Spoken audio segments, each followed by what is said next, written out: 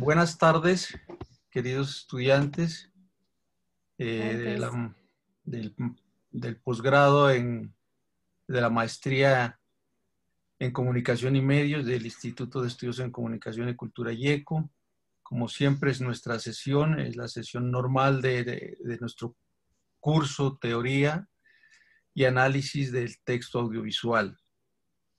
Eh, también bienvenidos los otros amigos y otras personas que se inscribieron en un link que mandamos eh, por Google para que pudieran también estar en esta sesión y compartir con ellos el conocimiento, la generosidad del profesor Lorenzo Torres Hortelano, eh, pues quien ya nos ha visitado en varias ocasiones en Colombia, hicimos un curso, recuerdo al principio del año pasado también de teoría de análisis textual, pero ese fue in situ porque fue una, ganamos, ganamos una convocatoria para que él hiciera aquí eh, docencia eh, en el curso, de manera que es alguien que conoce Colombia, que, le gusta Colombia, que conoce el tema, que ha estado muy cerca de nosotros y yo particularmente le, me siento muy agradecido y honrado con su generosa amistad también. Eh, entonces, quienes convocan a esta sesión de hoy es, como dije, el, el curso de teoría y análisis textual y del YECO, y vamos a hablar de la película Roma eh, de eh, Alfonso Cuarón. Es un análisis textual que va a realizar el profesor Lorenzo Torres, que es una persona experta en este tipo de análisis, pues lleva mucho tiempo trabajando en ello trabajando en muchos autores que le interesan y yo lo he visto muy, muy, muy interesado en el cine colombiano también y queremos pues más allá mirar a ver cómo, ya lo hicimos, ¿no? Hicimos con, con una película de Sergio Cabrera que tú lo hiciste acá también el año pasado. la estrategia. La estrategia del caracol, sí.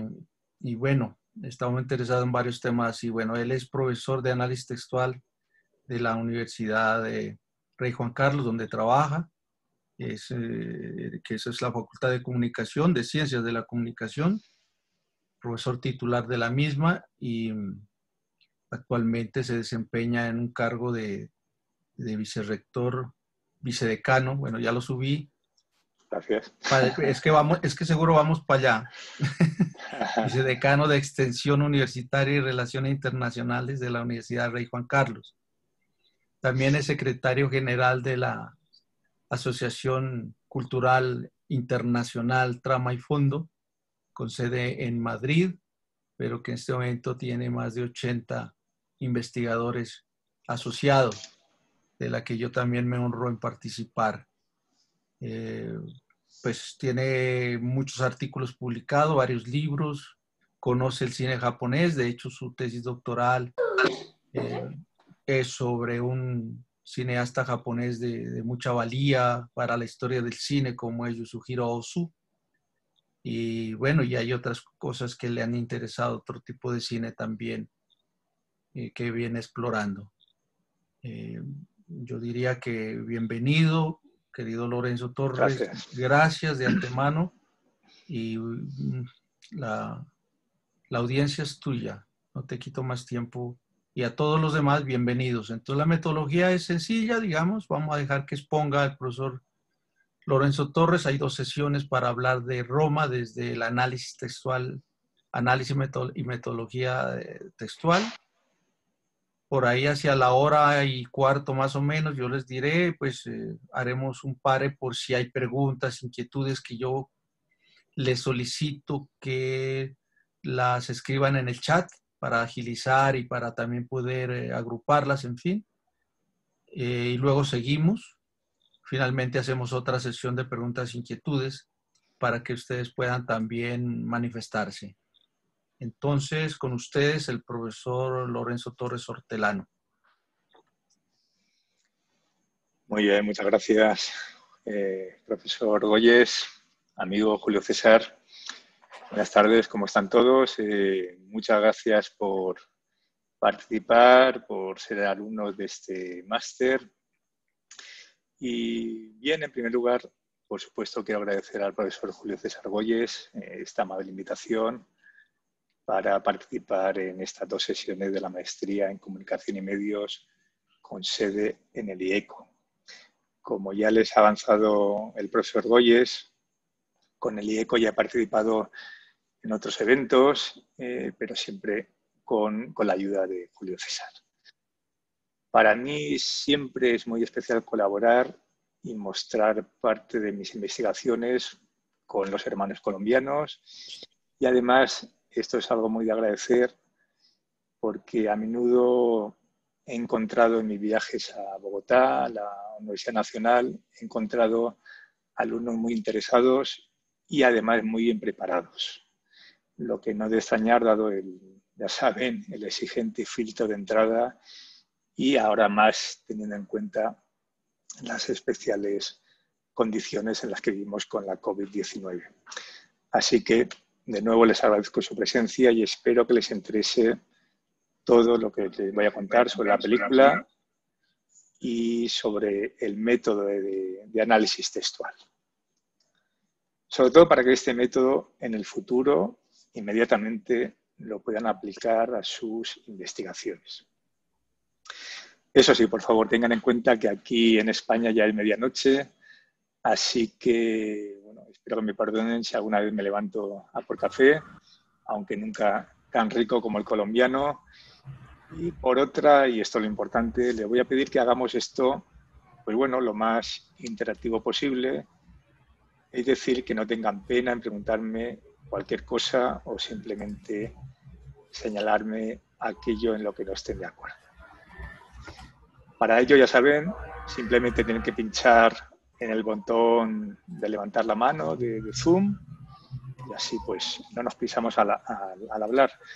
Otra cosa importante, ya saben que es lo que está pasando ahora, conviene que todos, mientras no levantemos la mano y no les, no les pasemos el turno, pues que cerremos los micros. Ahora, por ejemplo, está entrando por ahí una sirena. Bueno, hechas las presentaciones, vamos a ir entrando poco a poco en materia.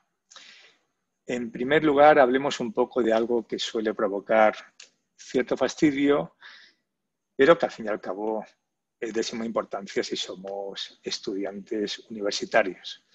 Me refiero, claro, al método que vamos a utilizar. Realmente es lo que voy a intentar durante estas dos sesiones. Eh, aparte de una introducción a la película Roma, lo que quiero demostrarles cómo trabajo cuando me pongo a analizar una película en profundidad. Es decir, que más allá de que lleguemos a algún acuerdo en las conclusiones del análisis de la película, lo que más me interesa, y creo que Julio César también estará de acuerdo, es que ustedes aprendan, aprendan una forma determinada de analizar los textos audiovisuales para que luego puedan aplicarlo a sus futuras investigaciones. Verán que en parte les sonará muchas cosas de otros métodos similares, pero también estoy seguro de que van a encontrar elementos originales o novedosos que les van a ayudar mucho. Además, sé que en estas eh, cinco sesiones previas, el profesor Goyes pues, ya les ha estado haciendo una introducción importante a este método de análisis textual. Bien, eh, el método que les propongo igual les, suena un poco raro, pero se trata de un método científico. Es decir, que no nos va a valer aquello que seguro que les suena de que hay infinitas interpretaciones y que todas ellas son válidas. Estoy seguro que ya han tenido alguna, algún debate intenso con el profesor Goyes al respecto, pero Hoy vamos a insistir en ello. Eh, ¿Por qué lo digo? Bueno, creo que cuando se dice esto, ya saben que hay muchas interpretaciones y todas son válidas, creo que se confunde la emoción que cada espectador tiene, que claro es original e intransferible, con el hecho de que solo si la película toca unas muy determinadas fibras sensibles en cada espectador será capaz de convertirse en una obra de arte. Esas fibras sensibles tienen que ver con la experiencia estética, que por supuesto es emocional, pero que es algo más. Bien, claro, la pregunta entonces es, ¿qué es ese algo más? Bueno, eh, durante estas dos sesiones les invito también a que lo investiguemos juntos. Y subrayo esto porque el método que les propongo aquí y ahora, es decir, en, en un grupo más o menos numeroso, tiene que ver con hacer un trabajo en común. Es decir, como si estuviésemos en un laboratorio de una vacuna en el que trabajan decenas de científicos en pos del mismo objetivo. En un laboratorio científico, el objetivo claro es conseguir esa vacuna ¿no? que, nos, que nos salve. En, en nuestro laboratorio lo que pretendemos es analizar una película y bueno, van a, van a ir viendo que no nos, eh, no, nos salva como seres humanos, pero sí de alguna manera los buenos textos nos construyen como, seres humanos. Eso lo vamos a trabajar un poquito más adelante. Es decir, somos aquí en estas, eh, en estas dos sesiones, somos un laboratorio que va a encontrar la vacuna de la verdad que subyace en Roma. Se lo tienen que tomar en serio porque para que esa factura, eh, para que esa vacuna, perdón, sea efectiva, otro laboratorio, cualquier otro laboratorio, ya sea en Brasil, en México, en España, donde sea, cuando se pongan a aplicar el análisis que vamos a proponer, deben ser capaces de llegar a las mismas conclusiones o algunas muy similares, pero no a cualquiera. No sé a ustedes, pero a mí me ha parecido curioso ir observando durante estos meses de pandemia cómo en los medios generalistas se iba hablando de este método científico del que venimos hablando. Claro, es normal, nos va la vida en ello porque si un laboratorio no sigue estrictamente los pasos de ese método científico, ya no es que no nos llegue una vacuna segura, es que no habrá vacuna con todo ello, con todo lo que ello puede suponer, ¿verdad? Muy bien, aunque pueda parecerles que como estamos en estudios de humanidades, estamos lejos de este método científico, tengo que decirles que básicamente el método que vamos a trabajar lo es. Por más que las pruebas de su validez sean indirectas, pero no por ello menos evidentes, pues tocan si el texto que analizamos vale la pena, como creo que es el caso de Roma, digo, tocan los lugares más íntimos de nuestra psique o conciencia o inconsciente. Claro, los más avispados de ustedes dirán que la psique es algo muy complejo, que el inconsciente tiene dudosa cualidad científica y sin embargo sus efectos eh, aparecen constantemente en nuestra cotidianidad. Porque si les pregunta a ustedes eh, si carecen de conciencia o si carecen de psique, ¿alguien levantaría la mano? Doy una pausa por si, por si alguien quiere levantar mano. Imagino que no. Bueno, pues es un alivio que nadie levante la mano ante esta pregunta porque efectivamente significaría o que están locos o peor que están muertos. En todo caso, yo estaría de acuerdo en que nuestra conciencia tiene, eh, es tan compleja que efectivamente nos encontramos ante una verdadera caja negra. Pero ante eso yo le diría que no, no vale la pena agobiarse pues es gracias a esa maravillosa complejidad que películas como Roma nos tocan y hacen que nos quedemos hablando de ellas como hoy hasta, hasta altas horas de la madrugada. Al menos ya saben en mi caso, por estar en Madrid. Pero son películas que nos tocan, ¿verdad?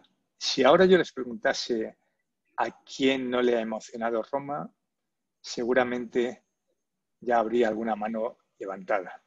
Igual, hago la pregunta, ¿hay, alguien que realmente no, se haya sentido tocado por, la película?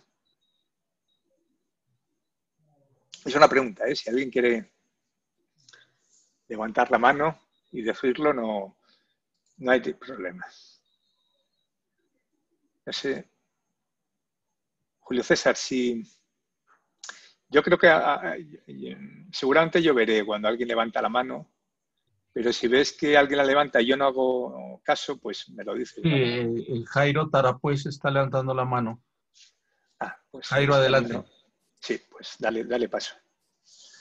Jairo, adelante. No le oigo. Jairo Tarapuez. ¿Se, arrepintió o sería.? No, pero yo le vi la mano ahí. Ahora. Eh, síguele. Jairo Chávez. Jairo. ¿Ustedes me escuchan ahí? Sí, sí, perfecto. Ahora sí. Eh, sí, a mí me pasó algo con esa película, ¿no? Que, cuando empezó la cuestión de lavar el, el, patio, esa, ese piso ajedrezado, no sé qué pasó en mí, ¿no?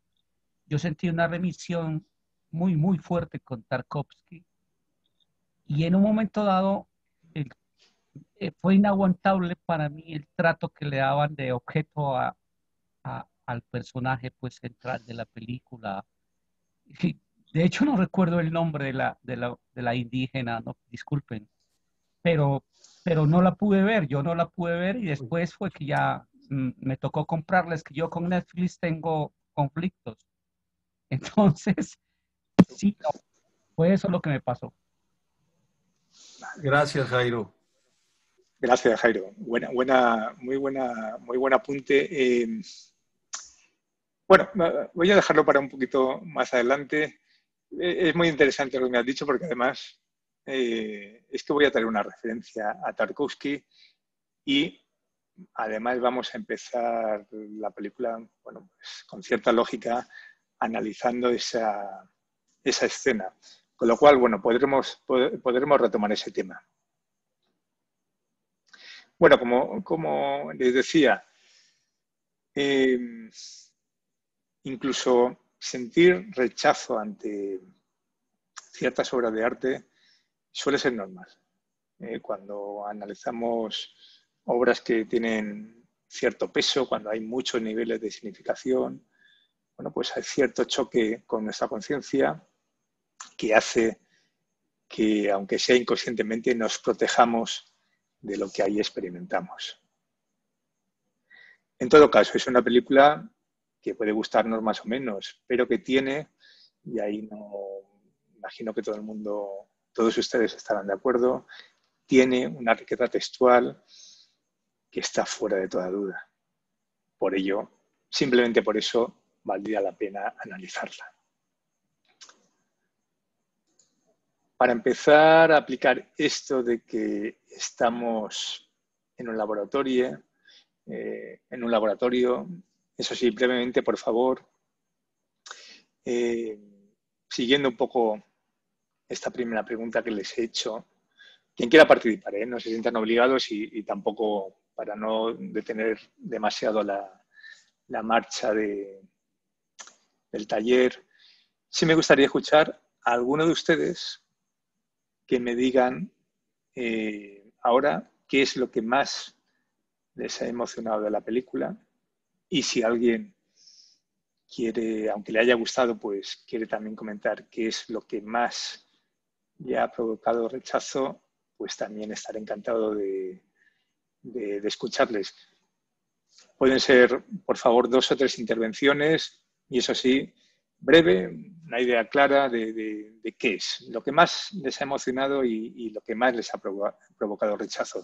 Y luego les explicaré el sentido de, estas dos preguntas. ¿Quién, ¿Quién quiere participar? A ver.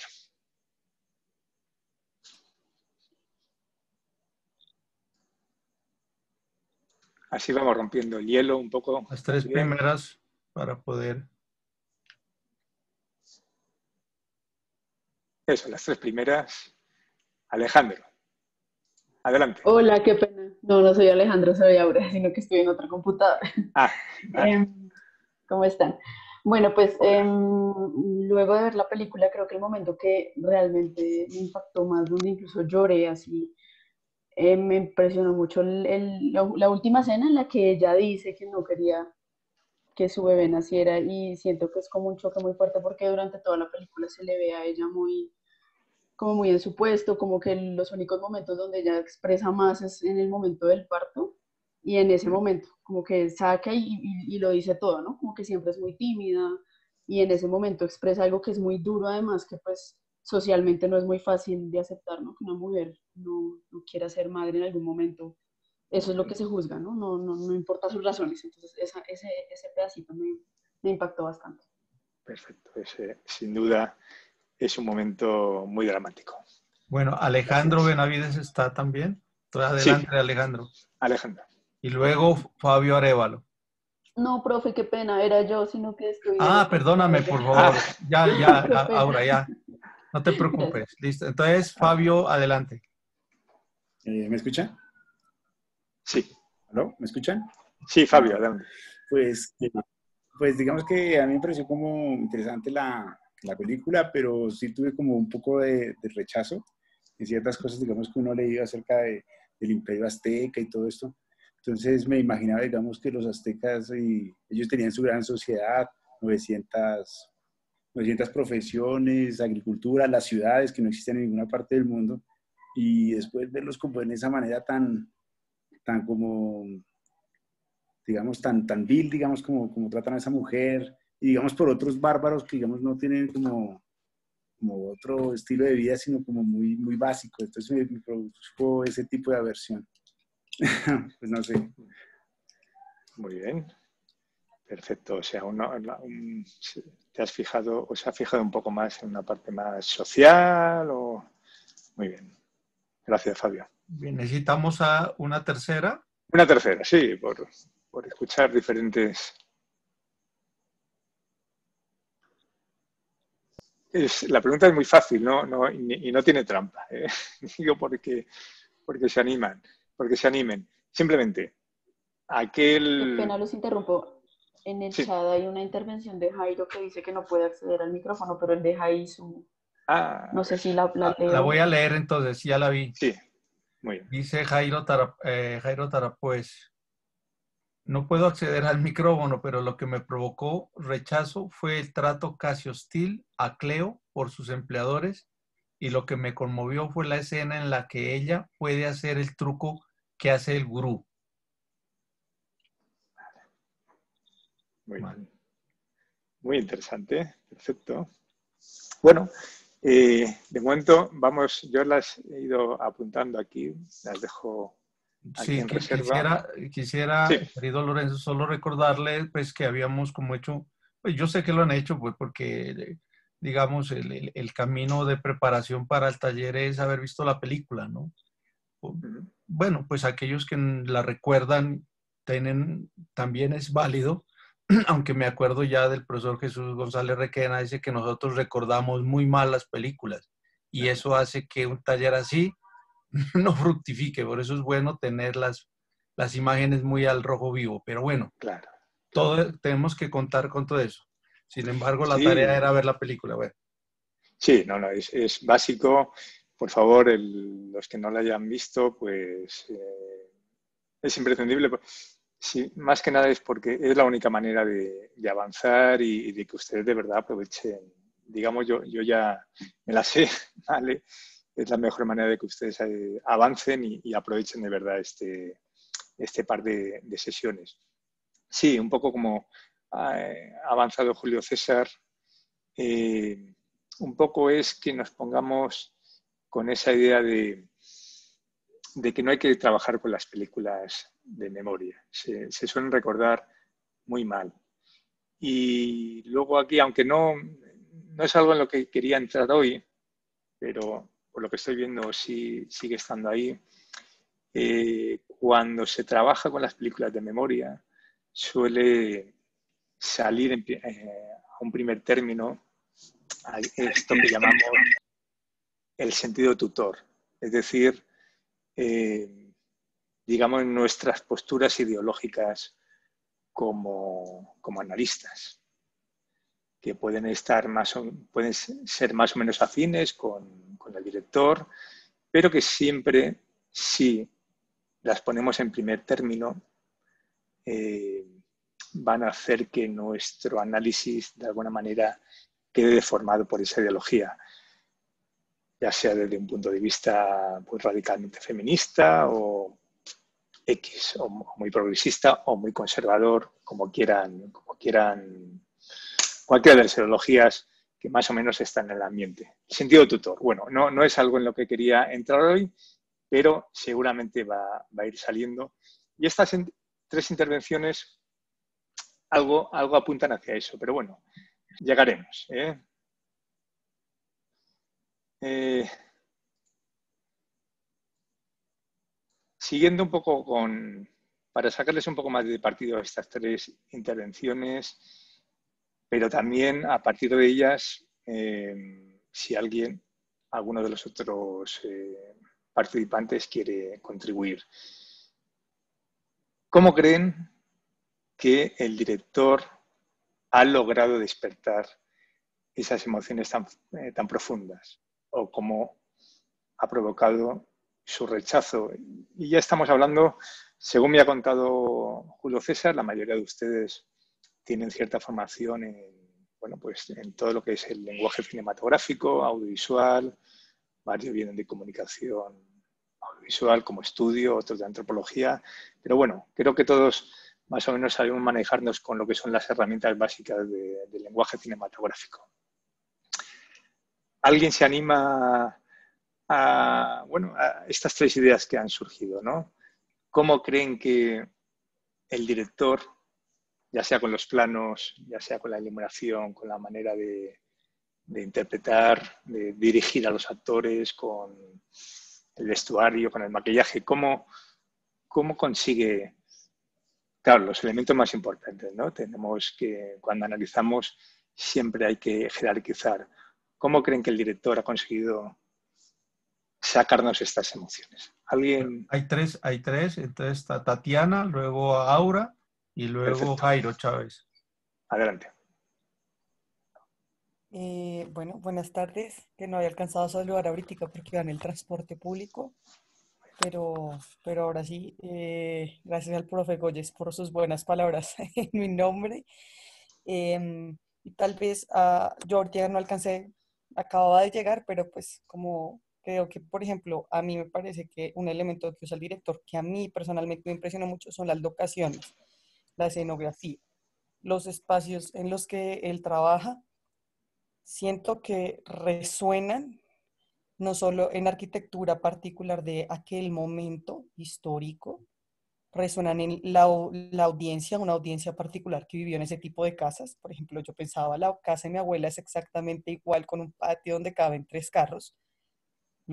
Es un espacio muy, muy particular y a su vez como, en, como él va pintando a los personajes en situaciones que, bueno, digámoslo así, eh, como persona de la ciudad, puede ser que yo no tenga la misma experiencia que Cleo, pero por ejemplo, la situación que vive la madre eh, de, los cachos del marido y toda la situación y los hijos, el, barrio, es muy, muy, muy afín a situaciones que son muy, muy de la cotidianidad latinoamericana. A pesar de que no hay mucho color, en, por ejemplo, las imágenes, porque es una elección del, del director. No ponerle color, uno lo ve con los colores de su propia infancia, porque hay figuras en los espacios, porque particularmente es lo que a mí más me llama la atención, la historia tal vez me pasa como a los compañeros, que ahí es donde yo no me siento como tan emocionada, pero en la escenografía es donde más decía como, es que es igualito a los espacios del barrio. Mi mamá la veía y también es igual a su infancia. Entonces, eso me parece que, que es un elemento estrella del director ahí. Muy interesante. Como ven, vamos apuntando a cosas que, o elementos que directamente tocan nuestras, nuestras emociones, ¿no? Muy bien, gracias, Tatiana. Eh, Jairo, quiero que también estaba, eh, había levantado la mano. Eh, sí, Lorenzo, gracias. Eh, ¿Sí me escuchan, cierto? Siempre tengo la duda. Sí. vale, pues yo, yo, yo con esta película es muy especial para nosotros. Ya te voy a decir ahorita porque ojalá no me, no me tenga que alargar un poquito, pero pues, si no, no, después te lo digo. Porque a mí me parece, yo antes de verla sabía que pues estaba producida por Netflix, ¿no? Y entonces eso ya causaba una vaina traumática en mi experiencia como espectador. Porque, porque eh, no sé, pues con esa prevención, ¿no? De los productos y toda la cosa de la industria, pues sabiendo quién es Cuarón. Segundo, ya habían cuatro o cinco películas con el mismo título. Sin embargo, pues por ahí las resonancias cortasarianas con el juego del amor, Roma, ¿no? Le juro que hasta ahora no sé por qué se llama Roma esa película. Y no porque no pueda saberlo, ni lo pueda averiguar, sino porque no me, no me da la gana saberlo, perdónenme la expresión. Esa película, lo primero que a mí me agradó fue de una, la captura del blanco y negro. Pues bastante digital, no sé, limpia, ¿no? Y los contrastes. Y esa espuma cuando lavan ese patio, ¿no? Eh, Cleo lava ese patio y se va es por, por, el sifón, se llama acá, no sé cómo lo llaman en España, por donde el desagüe, pues, ¿no? ¿Cierto? Y entonces ese, ese, todo eso ya lo lleva a uno como, como a el, al nivel en que es un ser humano puede llegar visto por otro, ¿no? Otro elemento es la locación. Es una locación espectacular la de la casa, ¿no? Y, y y está bien cuidado el, el, el, trabajo con actores niños siempre es problemático, ¿no? Las personas que realizan eh, lo saben. Eh, pues yo creo que hasta ahí, porque es especial esta película? Nosotros empezamos a pensar en la microcrítica precisamente con esta película y con Amarcord. Eh, una microcrítica que surgió de una en un café de esta película Roma fue que mi amigo Augusto Lozada Lince, ¿no? Le digo, ¿ya viste Roma? Me dice, sí, vi la mitad, ¿por qué no continuaste? ¿no? Entonces yo le digo, a mí me parece que Netflix se la tiró.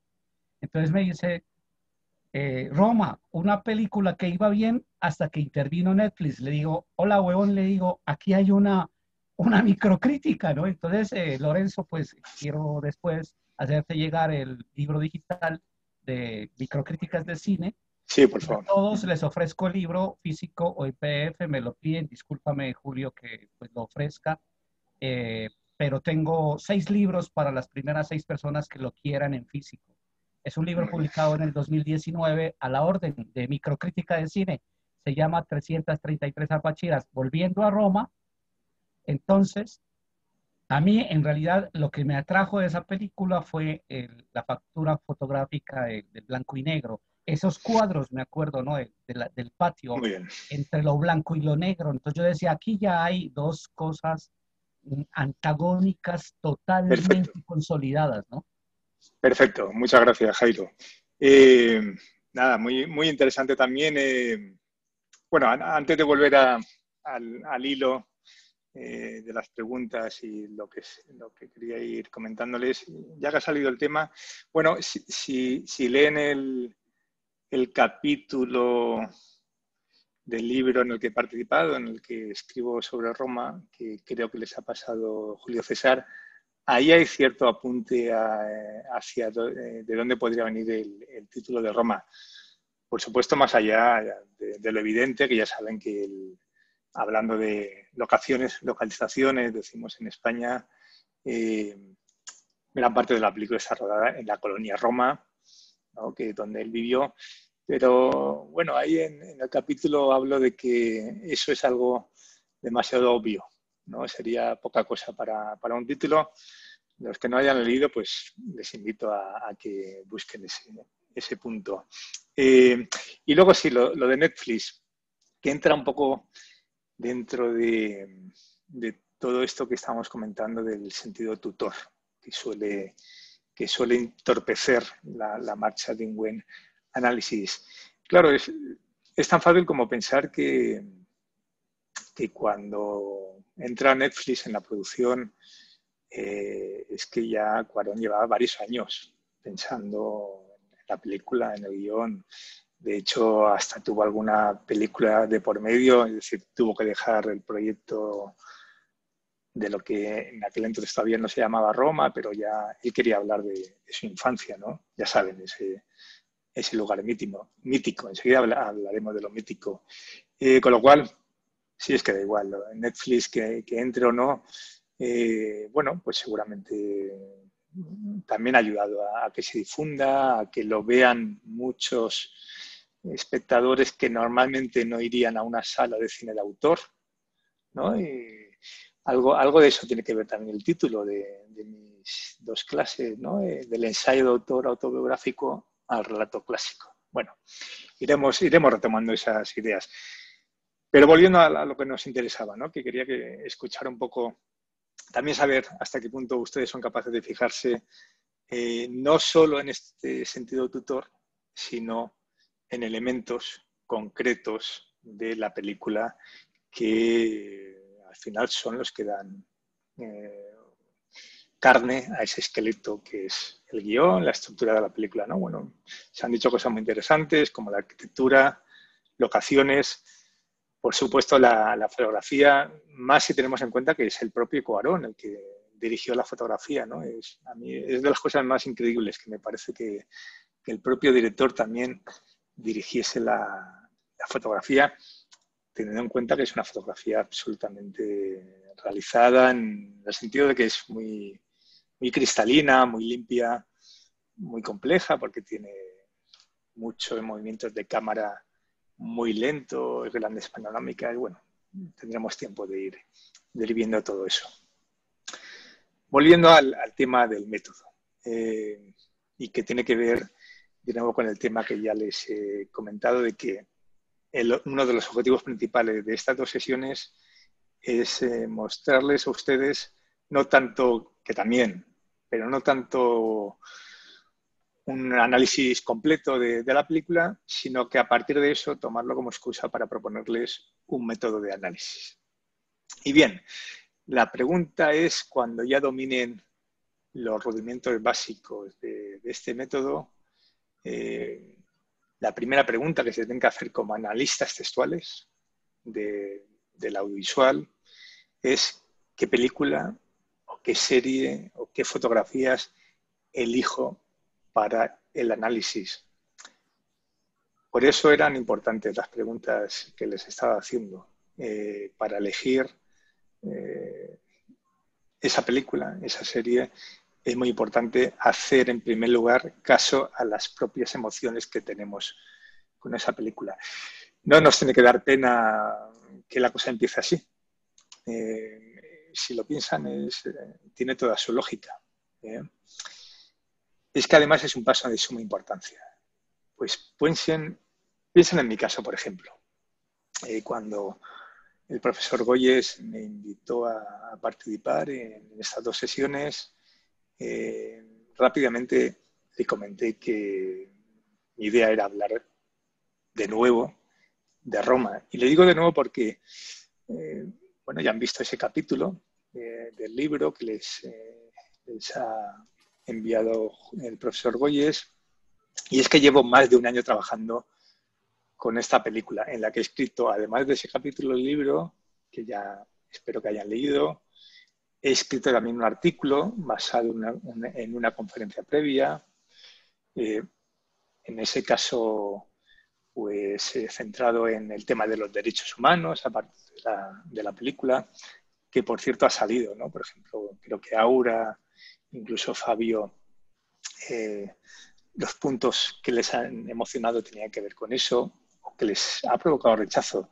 Ya saben que psicológicamente los límites entre la fascinación y el odio a veces son muy, muy finos, ¿no? O, digamos que es un, ¿Perdón? ¿Alguien ha comentado algo? No, no, es que creo que alguien tiene el micrófono ah, vale. abierto. Adelante. Adelante. Eh, y ahora, bueno, pues sigo con, la película en, en este máster y todavía me faltará una penúltima, un penúltimo trabajo que será presentar una comunicación en el Congreso de Tremifondo sobre otro aspecto de Roma. Se trata, no, no sé si el profesor Goye les ha hablado un poco de, de...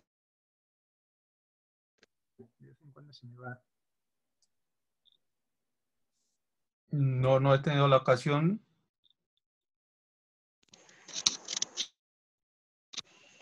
Disculpen, que a veces... ¿Se, ¿se me oye ahora? Sí, sí. sí. Vale, disculpen que a veces se me van los cascos. Eh, como ven, se trata de, de, un congreso internacional, es el undécimo, que uno lo realizamos en... Se está yendo el sonido, querido Lorenzo. Venga. ¿Se me oye ah, bien? Sí, vuelve, sí, ya.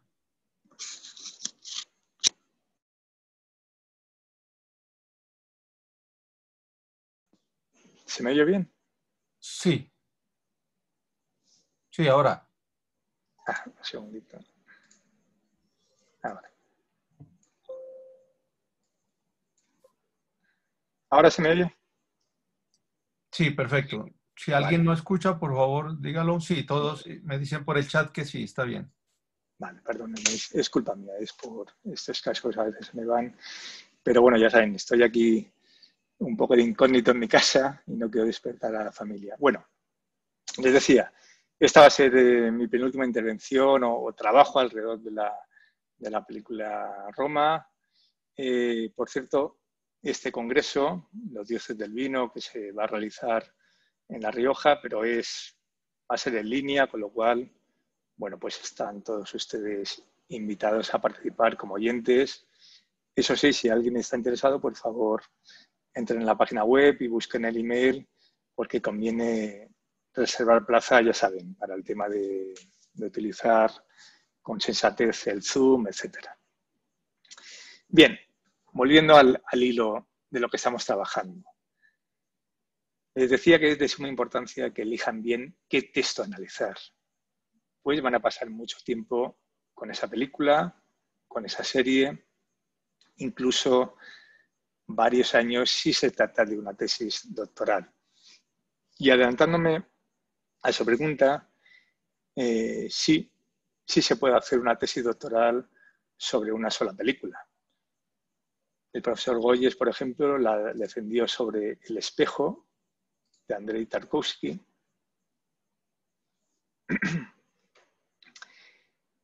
Y yo mismo eh, la, defendí, trabajé sobre una película que se llama Primavera Tardía, de Osu Yasuhiro,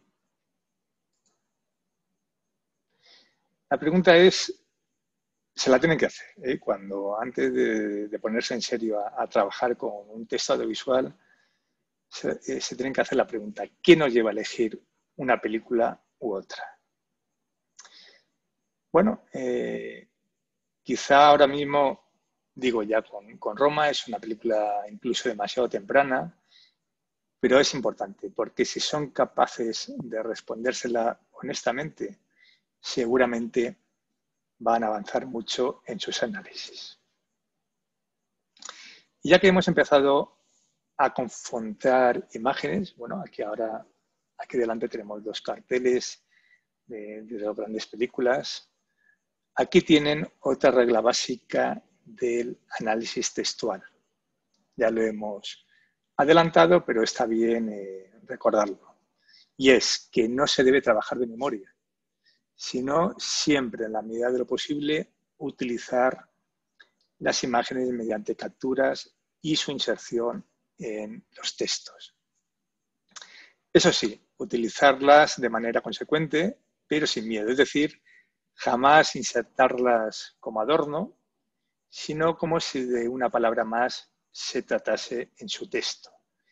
Insertarlas en aquellas partes de, los textos en los que van a analizarla o que les sirva para argumentar o ejemplificar alguna idea. Es posible que alguien me diga que entonces, ¿por qué nos pone el profesor estos dos carteles de dos obras maestras del cine? Por cierto, siempre entre las 100 mejores películas de la historia del cine. La pregunta sería pertinente. ¿Por qué las pongo entonces? Bueno, tiene que ver con el título que les he propuesto para estas dos sesiones. Análisis textual de Roma, del ensayo de autor autobiográfico al relato clásico. Y es que resulta que hay un elemento que se repite tanto en primera tardía como en el espejo y además, curiosamente, en Roma. Algo, bueno, que además habla de, la afinidad mental que, que tengo con el profesor Goyes, de cómo esto, pese a la soledad del analista, también es un trabajo en equipo. Porque, de nuevo, recuerden, somos un laboratorio.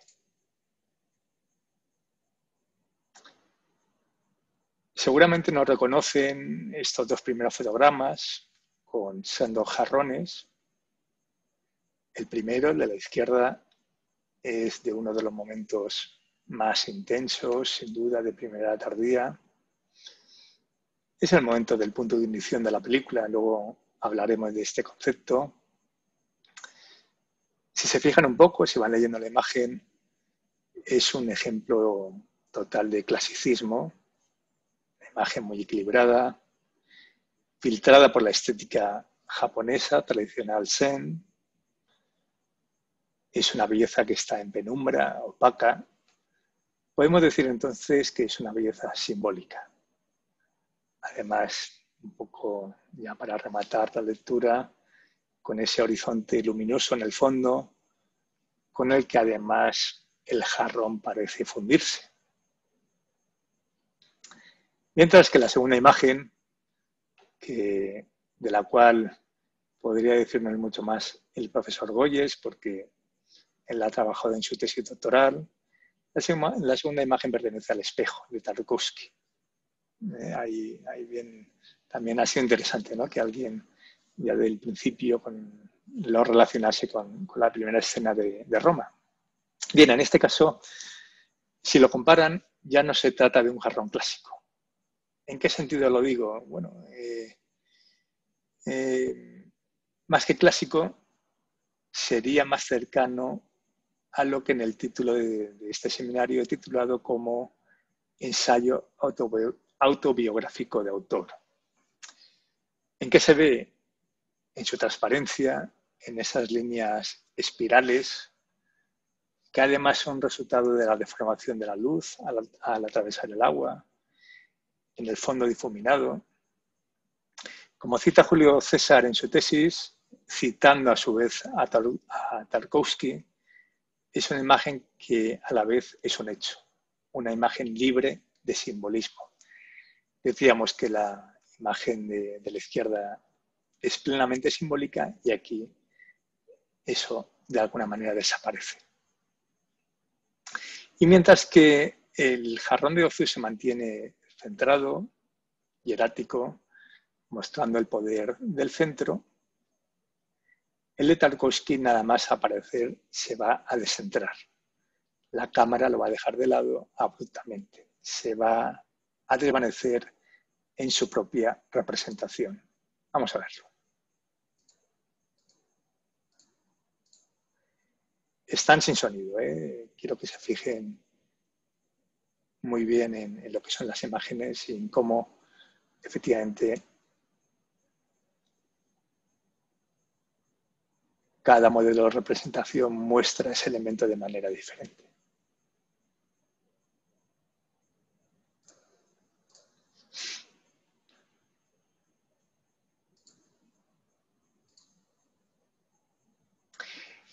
Y bien, como ven, he dejado un espacio debajo, de estos dos jarrones en el que perfectamente cabe un, tercero. ¿Alguien sabría decirme cuál sería la imagen que encajaría en ese lugar vacío, en ese lugar tercero? No te van a equivocarse, pues siempre estamos hablando, ya lo ven, de Roma. Entonces, lo que les invito es a que alguien me diga qué imagen de Roma creen que correspondería en esta triada. Quien quiera, pues por favor que levante la mano.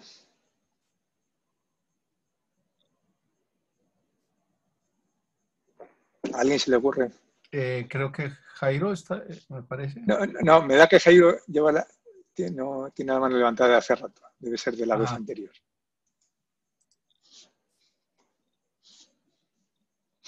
¿A ¿Alguien se le ocurre qué imagen podría ir ahí?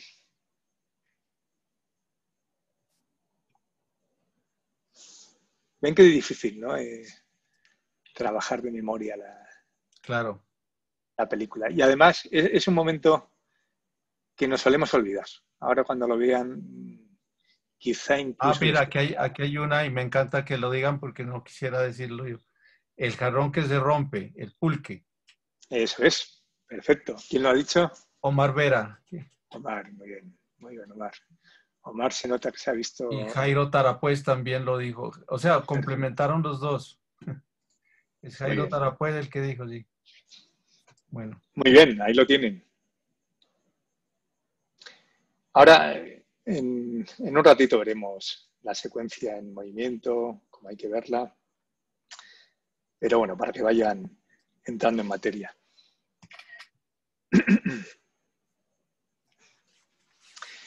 Y bien, a partir de esta, de esta comparativa, les propongo una hipótesis, al menos en lo que respecta al, tema de, en, el, caso de, Roma, más que un jarrón es una jarra, pero bueno, nos vale y, y, cumple la misma función. ¿no?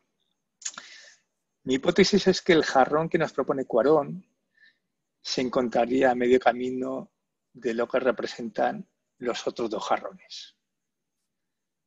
Un lugar indeterminado, como por cierto lo es siempre la memoria, entre el clasicismo de Osu, de lo que muestra ese jarrón, y la marca autoral de Tarkovsky. Ya saben, eh, ese modo de representación cuyo origen González Requena sitúa en Europa y que sería una mezcla, por una parte, del cine manierista, por ese grado de sofisticación en la puesta en escena, y que a su vez tendría cierto linaje con el cine de las vanguardias. Y por otra, de cine posclásico, por la imposibilidad de la construcción de la figura del héroe. Eh, hago aquí un inciso, profesor Oyes. Eh, ellos ya han trabajado los tres modelos de representación que propone el profesor González Requena. Eh, no, no, todavía. Vale. los hemos insinuado, sí, pero no, vale. no se ha trabajado. No es, no es el trabajo de hoy, pero para que les vaya sonando es, es interesante. Y sin embargo, eh, pese a que se encuentra, pues eso, entre cierto clasicismo y cierto cine de autor europeo, sin embargo, como veremos, lo que sí se dibuja en Roma y que es algo muy característico del cine clásico, lo que sí se dibuja es un héroe. Pero fíjense, hemos incumplido ahora mismo otra de las reglas principales del análisis, pero al menos vale para que, para que se vayan quedando con ella, que es que no hay que ir demasiado rápido en el análisis. Bien, como tenemos poco tiempo, dos sesiones, al final van a ver que, se queda nada, pues bueno, les voy avanzando esta hipótesis. Vamos a hablar ahora, entonces, para seguir avanzando y, para un poco ir aprendiendo estas, bueno, primeras reglas del análisis sexual, vamos a dedicar un tiempo antes del, del, descanso, bueno, del descanso, de, del turno de preguntas, porque la idea es que lo podamos hacer todo seguido. Eh, vamos a hablar del punto de ignición, que es una de las maneras más rápidas de entrar en una, en una película. Digo de entrar con intención analítica, ¿sí? Bueno, ¿qué es el punto de ignición? Eh, hace referencia a un núcleo que está en, la película, a partir del cual poder enfrentarse al análisis sin que este análisis se presente como una especie de deriva de sentido. Esto de la deriva de sentido es lo que les he señalado sobre que no debería haber mil interpretaciones posibles y además todas válidas. Si lo piensan un poco despacio es algo eh, imposible. Es decir, se trata de centrar el análisis desde el principio en torno a un punto de ignición. Es un concepto que quizá a alguno de ustedes les suene eh, a, partir de la obra de Roland Barthes, cuando él hablaba del puntum. Es un concepto que elaboró en su última obra, mm, de Sonará, La cámara lúcida, en, ese caso para abordar la lectura de una serie de fotografías. En esa obra, Barthes eh, contraponía el, concepto de puntum al de studium. ¿Qué es el studium? Bueno, sería aquella parte de la fotografía que el autor planifica o busca conscientemente. El estudium apunta a la atracción que el espectador siente por la imagen en función de su propia cultura, de su saber.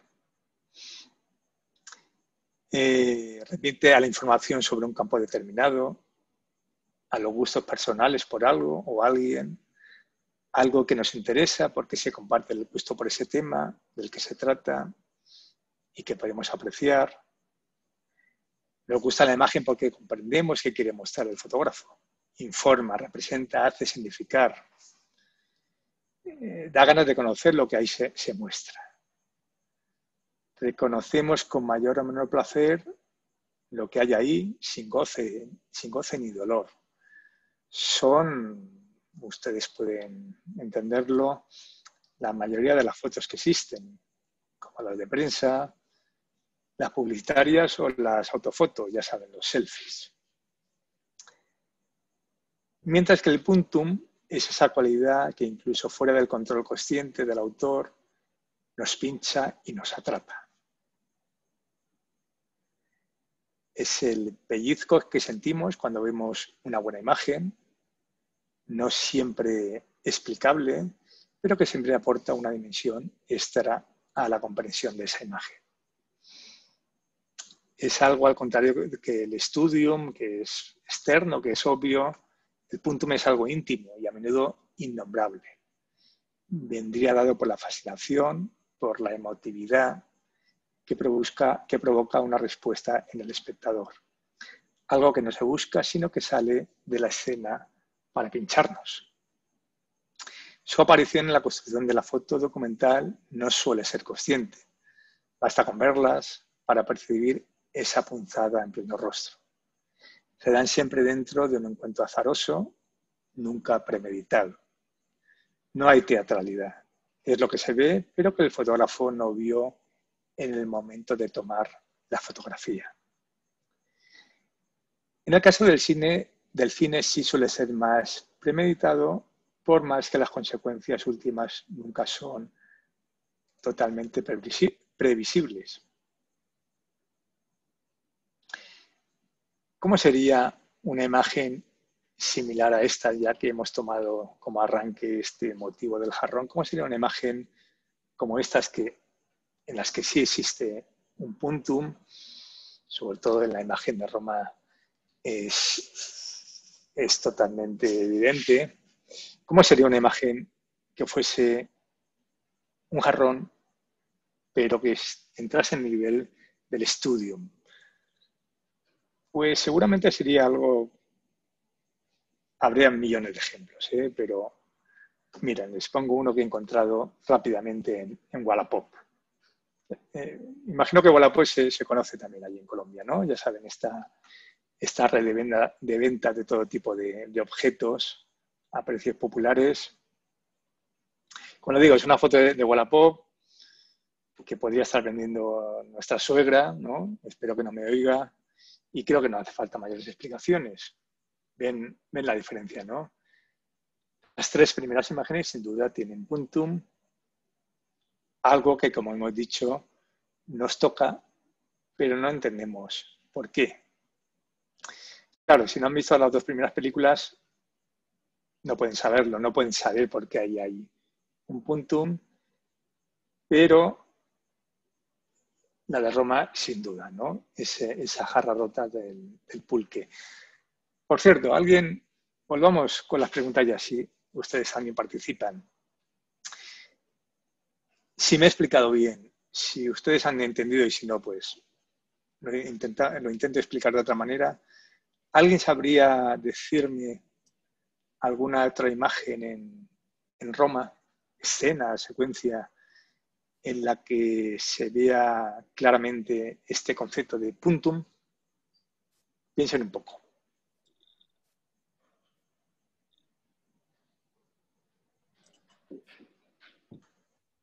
¿Dónde está Cristian que me habló del puntum desde Bartes, que va a trabajar las fotografías de Abad? ¿Qué piensa Abad? Como sabes, no sé si sepas, eh, allá es nuestro fotógrafo testimonial, ¿no? Pues seguro que, le suena este trabajo de Bar.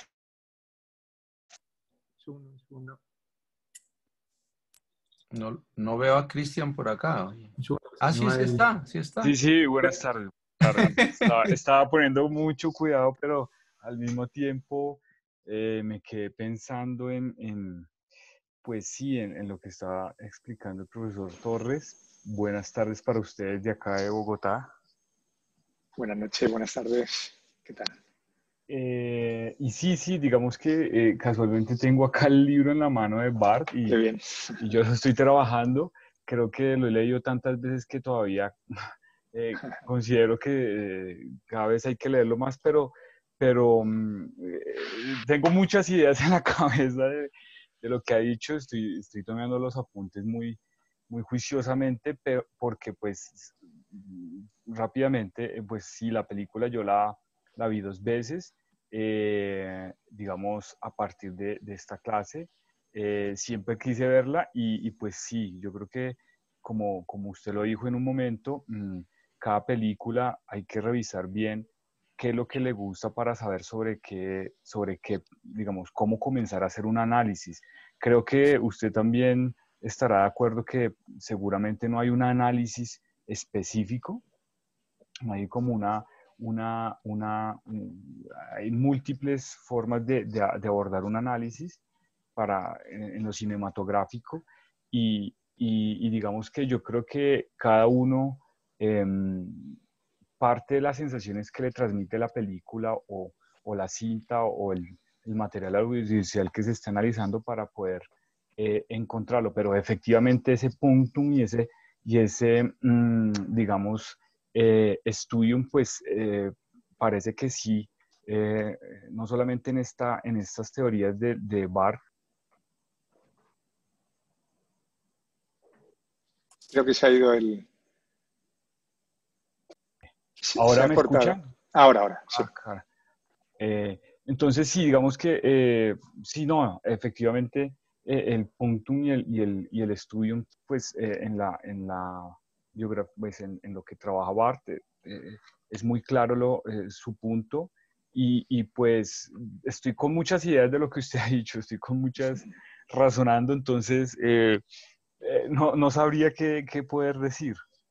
Bueno, gracias por la, sin problema, Cristiano, gracias por la intervención. sí, un poco, la idea es, como ven, le voy le voy comentando, le voy describiendo varios conceptos teóricos y, reglas alrededor del método, pero de nuevo, mi, intención no es, digamos, que se aprendan esto de memoria, eh, o que lo apunten y quede, queda ahí como unos simples apuntes, siempre, siempre son importantes los apuntes, ¿verdad? Eh, lo que quiero es que lo, apliquen. Y, lo más importante es aplicarlo sobre la marcha si la aprenden en memoria y, luego se les olvida, pues poco, poco hacemos ¿no? con, con, este trabajo. Importante que sepan aplicarlo. Entonces, por eso les preguntaba. Sé, que no es fácil, ¿eh? de, repente, pues ya va siendo mucha información y, además ponerlo en relación eh, con la película. Yo ya la, tengo muy trabajada, pero seguramente para muchos de ustedes es la primera vez que la ven eh, la película, digo, y bueno, pues les será difícil, eh, además, escuchar nuevos conceptos teóricos y encima aplicarlos a, una película que tienen muy reciente, pero hay que intentarlo. De nuevo, eh, lo más válido de, de, que estemos reunidos aquí, 30 personas, además con el océano de por medio, es que es un laboratorio.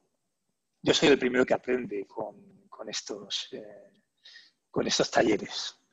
Y se lo tienen que tomar en serio. Quiero decir, no es lo mismo trabajar solo en su casa, delante del ordenador, con una película, que tener la oportunidad fantástica de, bueno, de compartir este trabajo conjunto. Se van a dar cuenta a, poco que vayamos entrando en la película que van a ir surgiendo cosas muy interesantes que solo van a aparecer en, el análisis si, somos capaces de, trabajarlo en equipo, ¿no? Bueno, irán saliendo cosas. Eh, como mínimo, sí creo que están de acuerdo en que la, la jarra rota del, en Roma tiene que ver con el puntum. Bueno, pero eso, eso todavía hay, que demostrarlo.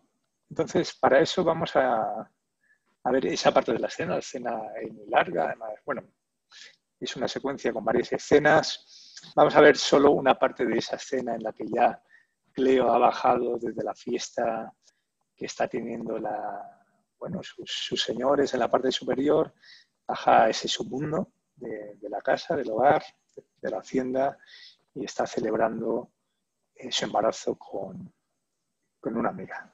Eh, si, ven que, claro, por temas de conexión no, sé bien si va a funcionar eh, el vídeo. Entonces, en la medida que vean que no, funciona o, va demasiado a altos, pues díganmelo y, bueno, pues en ese caso voy eligiendo un poco fotogramas pero bueno, vamos a intentarlo primero con, el vídeo en movimiento, a ver si funciona bien. Vamos allá.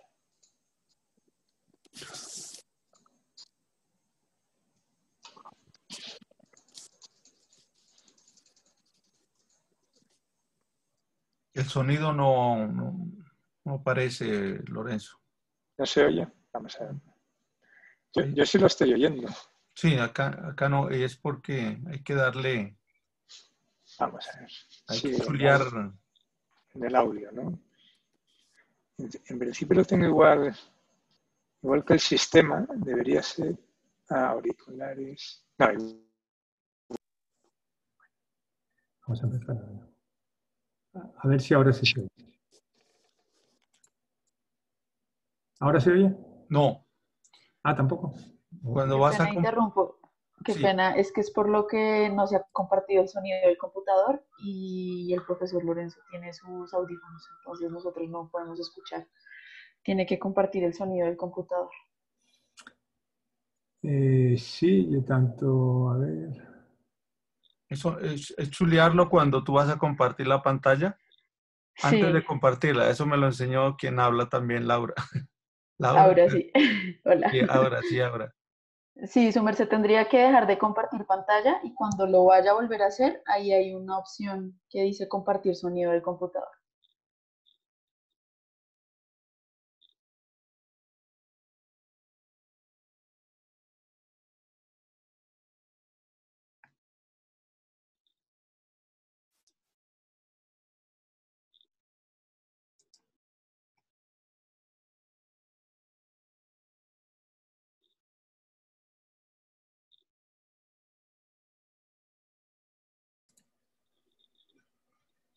A ver, ¿ahora se oye? No, pero si no te es todavía necesario el sonido, pues...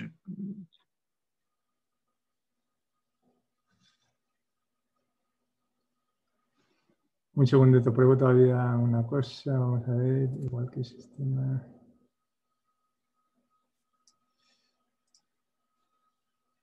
Nada, no, no se oye. Voy, voy a voy a quitarme los cascos, a ver, ¿vale? Un segundito. Ahí sí. Ahora sí. ¿Ahora se está oyendo? Sí, ahora sí. Seguro hay una interferencia ahí.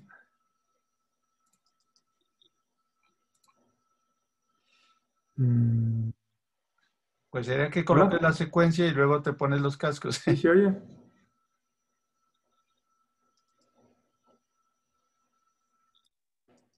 Hola, ¿se oye? Eh, pero no está, no está andando. Hola. Sí, yo te, te escuchamos. Te escuchamos, pero no está andando. ¿no? Ahora, a ver. Eh, ¿Se me oye ahora, Julio César? Eh, te escuchamos a ti, pero no está roda. Ahora sí, a ver. Sí, sí, ahora sí. Vale, perfecto.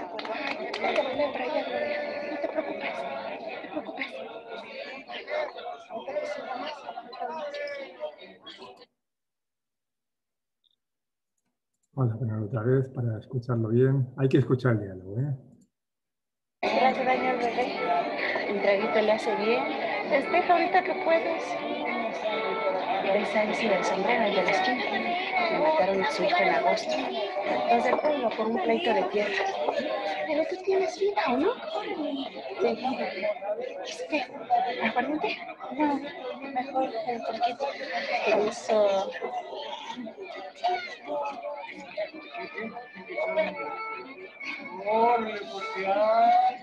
Brindemos por un hermoso 1971. Por la salud de tu bebé.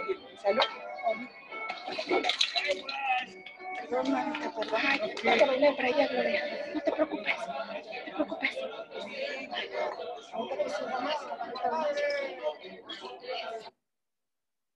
¿El vídeo se veía bien? Sí, yo creo que sí. Sí. Perfecto. Bien, lo han oído. Por tres veces se nombran elementos alrededor de la vida y de la muerte. En primer lugar, Cleo cree que el aguardiente puede hacer daño al bebé. En segundo lugar, la amiga le cuenta que a una mujer le han matado a su hijo, los del pueblo, por un pleito de tierra, como el que seguramente tiene la propia madre de Cleo, como se ve en otra escena de la película. Y en tercer eh, lugar, la amiga le dice que ella tiene vida, haciendo referencia al embarazo. Además, finalmente, eh, ya saben, se brinda por la salud del bebé, pero Cleo, como han visto, no, llega a beber porque antes alguien le empuja y se, se estrella la jarra contra el suelo.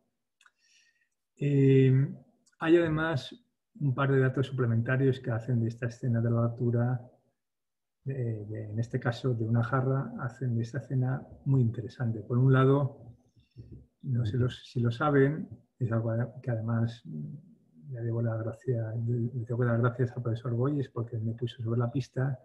Digo que el pulque es una bebida sagrada precolombina, por lo que de alguna manera se relaciona con el sacrificio a un dios primitivo. No voy a profundizar en esto ahora, pero les invito al congreso que les he comentado, pues ese precisamente será el núcleo de mi intervención. Por otra parte, hablando de núcleos, otro dato interesante es que toda esta larga secuencia, que ya he comentado que está dividida en diferentes escenas, ya saben que nos lleva de la parte superior de la casa, donde los señores festejan por su lado la Navidad, hasta esas profun- profundidades de ese universo. Digo que esta secuencia está justo en el centro geométrico de la película. Bueno, como ven, es un dato muy, muy interesante, ¿no?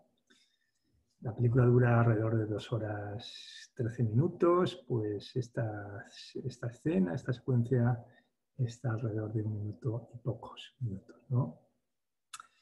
Se lo señalo porque, sin duda, el centro geométrico de una película es otro lugar muy interesante que siempre debemos indagar cuando analicemos una película.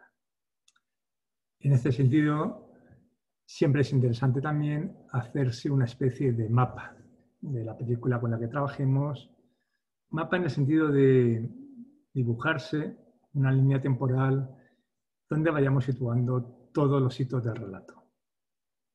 Eh, yo le mostraré uno que estoy haciendo eh, a partir de Roma, pero ya se lo mostraré la semana que viene. Trabajaremos a partir de ese, mapa. Por último, en cuanto a esta imagen del jarrón. Eh, ¿Alguien querría añadir algo? Y ya así luego pasamos a las preguntas, a, a las preguntas de esta primera parte de la intervención. Si nadie quiere añadir nada, yo sí les preguntaría algo. Eh, sí, adelante. Eh, Lorenzo, es que alguien eh, aquí, por ejemplo, Jairo Tara, pues dijo algo cuando tú habías preguntado sobre el puntum, pero lo escribió luego. Y quizás eso que él escribió, que era él, no sé si no, es que no tiene micrófono, me parece, a Jairo Tara, pues, pero él habla, dice que tal vez hay puntum en el plano con la espuma del piso. Y, y, al relacionar eso con esto, pues quizás él lo había, lo había dicho antes. Sí, nos lo vamos a apuntar porque efectivamente en la segunda parte de, la clase de hoy vamos a trabajar esa escena y pueda salir. Sí, estaría de acuerdo que esa, esa sería una... Es, es, complicado porque está esa cosa, bueno, pues casi sedosa, ¿no? De, de, esa espuma del suelo, pero claro, cuando empecemos a analizarlo, eh, incluso ya ha salido ¿no? con las intervenciones anteriores de Jairo, de Fabio y Tatiana, hay algo en, esa espuma ¿no? que tienen que, ver incluso con una, lucha de clases, pero bueno, ahora, ahora, ahora llegaremos a eso. Eh, en, en, concreto ahora me estaba refiriendo a esta imagen de la jarra rota, que hemos dicho que tiene, que por supuesto ahí hay un puntum, y quería saber la, opinión de, de todos. Eh, ¿Hay alguien que no ve para nada o, no ve la, importancia de un concepto así? ¿Cree que aquí no hay un puntum? Eh, bueno, opiniones al respecto.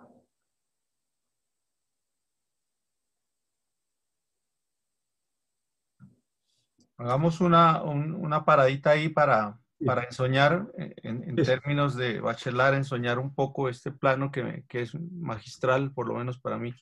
Sí. Eh, eh, bueno, pues denme un minuto.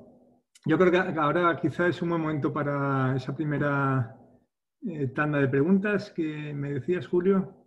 Sí, yo creo que, se puede aprovechar aquí unas preguntas. Piensen un poco, denme un minuto, vuelvo enseguida y, en nada, en 30 segundos vuelvo y, tenemos esa, primera tanda de preguntas. Eh, puede, seguir siendo a partir de, esta imagen del punto. ¿eh?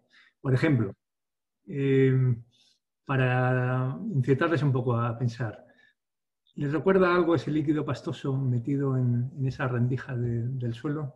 Vuelvo enseguida. Bueno, pues nos dejó ahí con la, con la pregunta tipo publicitario. Em, pero en este caso es una obra de arte, así que lo real queda aquí eh, directamente imbricado al espectador. Y, valdría la pena que, que, hablemos algunos, que digamos algunos como en esta, en esta fase, como estamos en el curso, por ejemplo, hablando con absoluta libertad de un fragmento de cada película que los que han visto. Ese es un ejercicio que estamos haciendo en el curso y, aquí pues lo, lo hacemos dirigido. Y para los que no son del curso, pues igual, o sea, igual. Eh, no sé qué se les ocurre ahorita que piénsenlo un momentico.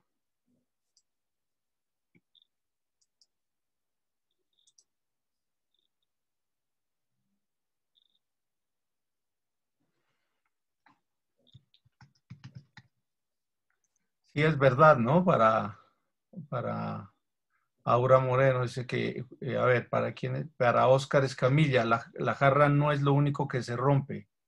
Sí, es, es, mm, es verdad. O sea, hay otras dos o tres cosas que rompen, bueno, varias, pero para unas tres cosas que rompen la película de una forma radical, ¿no? Radical. Si quieres hablar, Oscar, pues chévere. Por favor, toma la palabra. ¿Me escucha? Sí, está, estábamos aquí. Es que Oscar plantea, Oscar Escamilla, eh, plantea que, que no es la única cosa que se rompe. Entonces, si quisiera tomar la palabra, Oscar, pues chévere que nos diga algunas cosas. ¿Me escucha, profe? Sí, Oscar, sí, por favor. Ok, eh, buenas tardes a los compañeros y, y, buen día al profesor Torres. Este, no, lo, lo, que yo digo es que no es lo único que se rompe la jarra, es decir, es una sucesión de cosas que se rompen dentro de la película. Eh, también se rompe el vidrio cuando el niño le arroja al otro, a su hermano mayor, ese elemento en la casa que rompe no solo el vidrio, sino también golpea el carro. El carro mismo que empieza relativamente nuevo y en la medida en que va pasando el tiempo se va dañando y se va rompiendo como el matrimonio de la pareja, que además también se rompe. Se rompe la unidad familiar, eh, se rompe la vida misma y la tranquilidad con la aparición de estos tipos cuando están comprando la cuna en la matanza esta, ¿no? Que es la famosa matanza esa eh, de los años 70 en México. Eh, la, también se, se, se muere la, la, esperanza, si se quiere, de alguna manera, con, con, de alguna manera la quema esa que hay en ese bosque, ¿no? Es, es muy llamativo también eso casi como si fuese la película anticipara todos los males que hoy en día vemos, si se quiere. Eh, ahí también el rompimiento de la, de la infancia y de la niñez, de, cuando la madre les dice que hemos venido de vacaciones porque su padre va a sacar las cosas, el matrimonio se ha acabado. Em, y es, la, es también el rompimiento eh, de, de, la mujer, de la, de, de, la indígena, cuando rompe en llanto y confiesa que ella no quería tener a ese bebé y sin embargo lo ha abrazado. Es decir, una serie de cosas que se rompen dentro de la película que no son solamente esta jarra, que es probablemente lo más, digamos, evidente como ruptura, pero no es lo único que se rompe. Claro. Y lo segundo que quería decir es, a mí sí me parece muy particular que una película tan latinoamericana pueda ser entendida en una, digamos, por alguien como usted que no es latinoamericano. Y luego quiero hacer una pregunta. Bueno. Gracias, Oscar. Muchas gracias, Oscar. Muy, muy interesante. Yendo, yendo por la parte final, pero es una, una anécdota. Yo sí soy latinoamericano, soy español. Me siento, sin duda, a mí me gusta decirlo más como iberoamericano, porque así me incluyen eso, ¿no? Pero, pero bueno, eso, eso es la, anécdota. Eh, eh, ha, marcado usted un, tema muy interesante que efectivamente, y, volvemos al tema de Netflix, como, porque Netflix lo que no funciona, pues rápidamente lo, sacan de, de, la parrilla, ¿no? Y además están los datos ahí muy evidentes. Como una película siendo en el fondo tan, primero, iberoamericana, pero además, pues eso, eh, de nuevo volvemos a, es, es como una obra de ensayo autobiográfica de autor, ¿no? Eh, ¿cómo, ¿Cómo es posible que tenga, haya tenido tanto éxito? Imagino que ustedes, eh, no, no, ha existido un poco, a veces hago contextualización de la película, pero bueno, aquí es, es muy obvio porque es de, sobra conocido por todos ustedes que la película ganó varios Óscares. Eh, es decir, digamos, ha entrado en, el gran, en la gran catedral del cine mundial, además comercial, etc.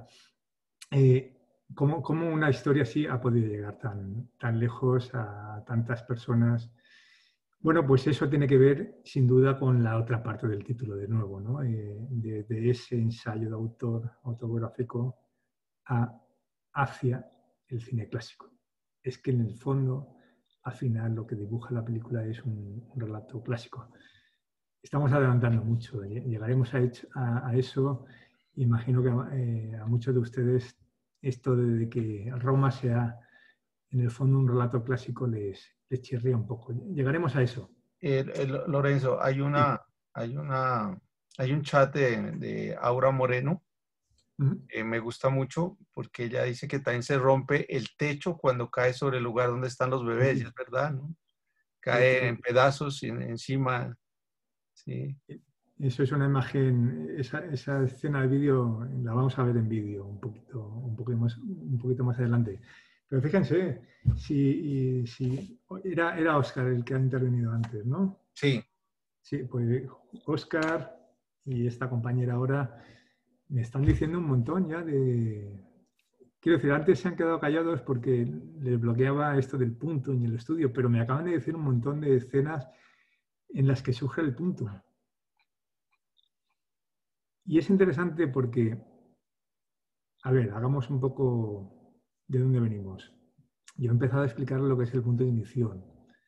El punto de ignición tiene que ver con el punctum y ahora vamos a ver que el punto de ignición es algo más que el puntum. Pero, eh, mientras que, como acabamos de comprobar y ha salido de ustedes, está funcionando este laboratorio, ¿no? Ha salido de ustedes varios puntos en los que hay o surge ese puntum, no en todos esos puntos en los que hay puntum eh, encontramos punto de ignición. Punto de ignición en un relato clásico suele haber uno, dos a lo máximo. Si es un relato pues, clásico, pues moderno, pues sí suele haber más, mm, digamos con menos potencia, pero muy, muy dispersos. Y aquí al menos en esta película hay uno, ¿no? que es además el que marca que al final nos, mm, nos dirijamos hacia un relato clásico. Enseguida, sí. Lorenzo, discúlpame, por favor, es que ah, eh, Aura Moreno dice que ah, tiene otro en mente y pues sería bueno que no lo, no lo contara. Y también Omar ha hecho una captura de pantalla que, que vale la pena ah, que, que, la comparta. Muy bien, hay que, muy bien, hay, hay que trabajar porque, porque estamos conversando. Che. Pues Hola, sí, qué pena con ustedes. Es que no quería interrumpir, pero sí, tenía otra en mente y de hecho también quería preguntar. Em, bueno, me causó a mí también impresión el, el momento después de que ella bota, eh, bueno, que el, el, el, jarroncito se rompe y ella sale de ahí, que es como de tanto ruido de eso. Luego de que ella ve la escena de que esta persona le está coqueteando a... sí. Olvidé el nombre. Sí, em, bueno, Sí, a ella. Una de las personas invitadas en la fiesta, ¿no? Sí, que, sí, que de hecho es como la patrona, ¿no? Es la patrona de ella. Bueno, e-, ella, ella sí, ella, ah, perdona, estás, ella es la señoría Sofía, Sofía. Exacto, sí. Cuando ella sale de todo eso, a mí también me impactó mucho porque ella se queda mirando hacia el bosque y ella es prácticamente la primera persona que empieza a ver cómo sale el fuego, pero es algo que no es tan claro, ¿no? O sea, no, pero, Aura, perdona, perdona, y enseguida te vuelvo a dar la, la palabra porque seguro que es interesante lo que estás comentando. Fíjate, de nuevo estamos con, con qué, difícil es recordar las, las películas. Estás confundiendo dos, dos, personajes. Efectivamente, eso que dices pasa en la escena, pero no es la, no es la señora Sofía la primera que ve el fuego, es Cleo. No, no, no, no estoy hablando de ah. ella. O sea, estoy diciendo después de que ella ve que a la patrona le están coqueteando y la patrona ah, se va, ella sale, sí, ella sale del lugar y se queda mirando y eso me impactó mucho porque además la cámara se queda ahí bastante tiempo, o sea, uno empieza a ver como ella es la primera que empieza a ver esas chispas en el, en el bosque y ella igual como que siempre está viendo esos momentos donde se rompe algo también. Cuando el carro, cuando el carro siempre entra chocando, ella es la que está viendo, cuando se cae el techo, ella está viendo y siempre está como, como que es la primera que percibe lo que pasa, así En ese sentido, quería preguntar también si, si esa percepción del punto es como muy personal también, o sea, no sé si he entendido bien, yo la verdad no, no había tenido mucho contacto con este concepto. Mm, es, es, personal, o sea, cada uno puede encontrar como un punto diferente, no sé. Reflexionemos un poco sobre esa pregunta, que es, es interesante. Eh, yo ya tengo mi opinión y, de alguna manera ya la he ido avanzando, ¿no? ¿Qué creen? Que cada una película como Roma, ya estamos viendo, Julio César lo estaba diciendo antes, que es una pura obra de arte. Todo nos puede gustar más o menos, pero vemos que es una película muy trabajada, muy elaborada, una fotografía exquisita, la dirección de actores, teniendo en cuenta que Cleo además era una actriz novata, había hecho algo de teatro. Bueno, todo es una cosa exquisita ¿no? de, película. Teniendo en cuenta todo eso, ¿de verdad podemos pensar que, que, cada uno puede encontrar un punto aquí y otro en otro lado? Eh, piénsenlo un segundo. Ya saben, Cuarón estuvo, no recuerdo ahora exactamente, pero como mínimo como 10 años pensando la película, dándole vueltas. Por supuesto, es, su- es su infancia, ¿no? Es, es un- una reelaboración continua de, de ese lugar mítico de la infancia. Eh, eh, perdona, es, que le había dado la palabra también a, a Omar para que mostrara su captura y, y yo creo que la pregunta que hace ahora que es tan, tan valiosa, pues eh, la vamos elaborando, la vamos elaborando allí. Eh, eh, Fabio Arevalo dice que la incubadora es un puntum también. Bueno, eh, está- estamos confundiendo ya ahora dos, dos conceptos, no confundiendo, sino una cosa es la elaboración del punto en la fotografía, digamos, en, en el plano fijo de la fotografía, y otra cosa el punto de inicio que se va a volver muchísimo más rico en el relato, pero, pero por ahora, eh, Omar, ¿me estás escuchando? Muestra, puedes compartir la pantalla, tocaría, yo creo que lo puedes hacer si, Profe, creo que es más fácil si, si van al chat y allí está la, la imagen, ah, ya, porque pues está compartiendo la, la pantalla del profesor. sí, ya, es que la estoy bajando, yo no, no había visto, está en el chat Lorenzo, Sí, aunque para- creo que para todos. creo que hace ruido para esta pregunta sobre el punto, ¿no? O sea, creo que, que voy, a- voy con esto a otra cosa que tal vez tiene relación con lo que estaba mencionando Oscar sobre como las cosas que se repiten, ¿no? En, en otras épocas y en otros contextos hablaríamos de las elipses, ¿no? De las elipsis. O sea, tenemos en la, en la forma geométrica que está construida un rombo, que es el mismo rombo o es similar al rombo de la- del, del momento en que el agua llega a la coladera de la- del- en, la, en en la escena del, del título, ¿no? Al, al inicio de la película. Eh, hay un círculo dentro dentro del rombo, hay un líquido, en el caso del inicio es un líquido claro, es agua con jabón. En el caso de, lo que, de la imagen que nos muestra el profesor, pues es, una, es, es un líquido turbio, que es pulque. Ahí hay un, ya una anotación al margen y es que el pulque en la, en la cultura mexicana fue proscrito como algo sucio, como algo, algo que pasa parecido con, con la chicha en los años 50 aquí, en los años 40 aquí en, aquí en Colombia.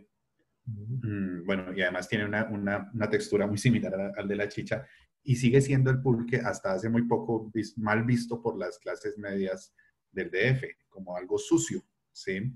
Y bueno, ya Sí. esto es demasiado finito, ¿no? Pero, pero Cuarón está metido en ese, en, ese, en ese contexto, ¿no? O sea, él es un clase mediero de algo así como Chapinero Alto en, en Bogotá, eso es la Roma, en el DF hoy en día, bueno, un poco más venida menos que en esta época de la película.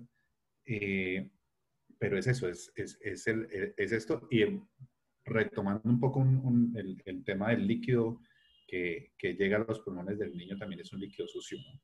Muy bien. Entonces, eh, Muy bien. pues, eh, son como los, los, los tropezones que, que va encontrando en el relato que abren elipsis, que, que dejan algo en silencio un rato, Ujú. que es un detalle que está allí y que uno se va a volver a encontrar. ¿no? Pero, digo, tal vez los términos no son los más apropiados porque estoy metiendo otro tipo de, de teoría acá. No, no, no, pero está bien, Omar. Está muy bien. De, de hecho, ah, Omar ha dicho algo muy, muy, muy, interesante que es que efectivamente ya saben que la, la bebé es, es una niña, eh, nace muerta, pero la causa de la muerte se dice literalmente en, en un diálogo es porque se inunda, se le, inunda- se le inundan los pulmones. ¿no? Y bueno, yo, yo lo tenía apuntado un poquito más adelante, enseguida vamos a llegar a ello. Eh, hay una gran relación eh, entre Clio y algo que podemos llamar así en general como un agua, un agua turbia. Pero de nuevo, un agua turbia, turbia. eh, va- vamos a llegar enseguida a ello. Pero saquemos todavía la- las últimas consecuencias de, de este plano. Por cierto, leo, leo el, digo, por- me parece muy, muy buena también la intervención de Jaira, Jairán en el, en el chat. Dice, roto el jarro de semen, rota las esperanzas de eternidad, jarra que rompe el piso, hueco que reemplazará al útero. ¿no? Volvemos otra vez a lo mismo. Fíjense, yo tenía aquí apuntado algo que es que tiene que ver con todo esto que estamos comentando, bueno, que están comentando ustedes. De nuevo, fantástico, el laboratorio está funcionando y es que en este plano ciertamente hay algo escatológico. Pero no solo desde el lado, digamos, más turbio o como se ha apuntado Eh, no sé quién me decía que el pulque en un momento dado en la historia de México se, se entendía como algo sucio. Es que está en lo más, en lo más sagrado, en lo más tradicional, porque en la tradición sagrada mm, de la que proviene el pulque, ya hemos dicho que el pulque es, la vida de los dioses, eh, digamos, el mito que explica esa, por qué el pulque es la vida de los dioses dice que, el, eh, que ese pulque es el semen del dios que cayó sobre la tierra para fecundarla. Fíjense, ¿no? Qué, interesante. Y pongan esto en relación al, sentido tutor. Aquí, efectivamente, si solo actúa el sentido tutor, digo, en la lectura de esta imagen nos está hablando pues, de esa, solo de esa parte más escatológica o de algo sucio o de cómo no deja de mostrar la, la clase social de, Cleo que queda rota por la opresión de los señores que están encima. Claro, todo eso también está, no, podemos olvidar esta parte de, que es que además escapa ¿no? a, a, lo que quiera al fin y al cabo decirnos varón, que es, como les digo, esta tradición sagrada de lo que es el pulque. Eh, dos anotaciones, si me lo permite, Lorenzo. Sí, por favor. Eh, pues las pulquerías eh, siguen teniendo vigencia eh, y sobre todo quienes van allá son los jóvenes. Yo te contaba, Lorenzo, que, que, que, yo estuve en tres o cuatro pulquerías y estaba llena de jóvenes y, y jóvenes universitarios. Y lo que ha dicho Omar es, es como, tiene una relación, porque aquí en, en Bogotá hay un barrio donde los jóvenes eh, comenzaron a ir a tomar chicha, ¿no? La chicha sagrada fue reemplazada por la cerveza por problemas eh, de orden político y que han vuelto a tomarla. Eh, pero ah, es absolutamente vigente, ¿no? No, no, eso no, no, está, digamos, dentro de, del turismo mexicano, de la oferta turística mexicana, pero es lo que más se hace en las pulquerías, ¿no? Claro, sale del, lado turístico, digamos, ¿no? De, la guitarra, de, no sé. Eh, claro, tiene que ver con, una parte mucho más auténtica de lo que supone la cultura mexicana, sin duda. Y una anotación que tal vez la recuerden en la, en la secuencia, y es que Cleo eh, se le da aguardiente, ella dice que no, porque eso le puede hacer daño, pero que en cambio el pulque, la referencia es que le va a hacer bien. Eso es. Eso es muy bien. Están las dos cosas. Las dos cosas. Eso hace muy rico a un texto. Que a partir del mismo elemento eh, estemos o el director esté trabajando como si fuese un, eh, mago, ¿no?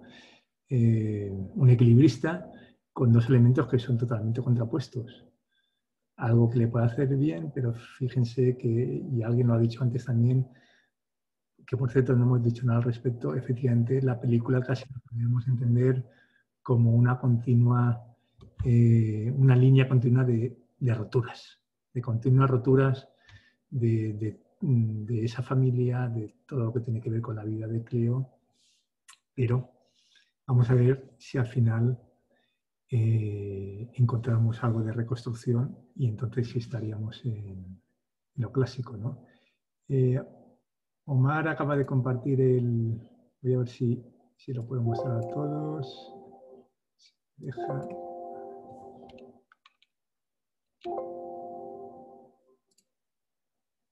A ver si me deja sacar por ahí. Que ya que, me lo, que nos lo ha mandado, vamos a, vamos a traerlo Ah, sí, bueno, esta,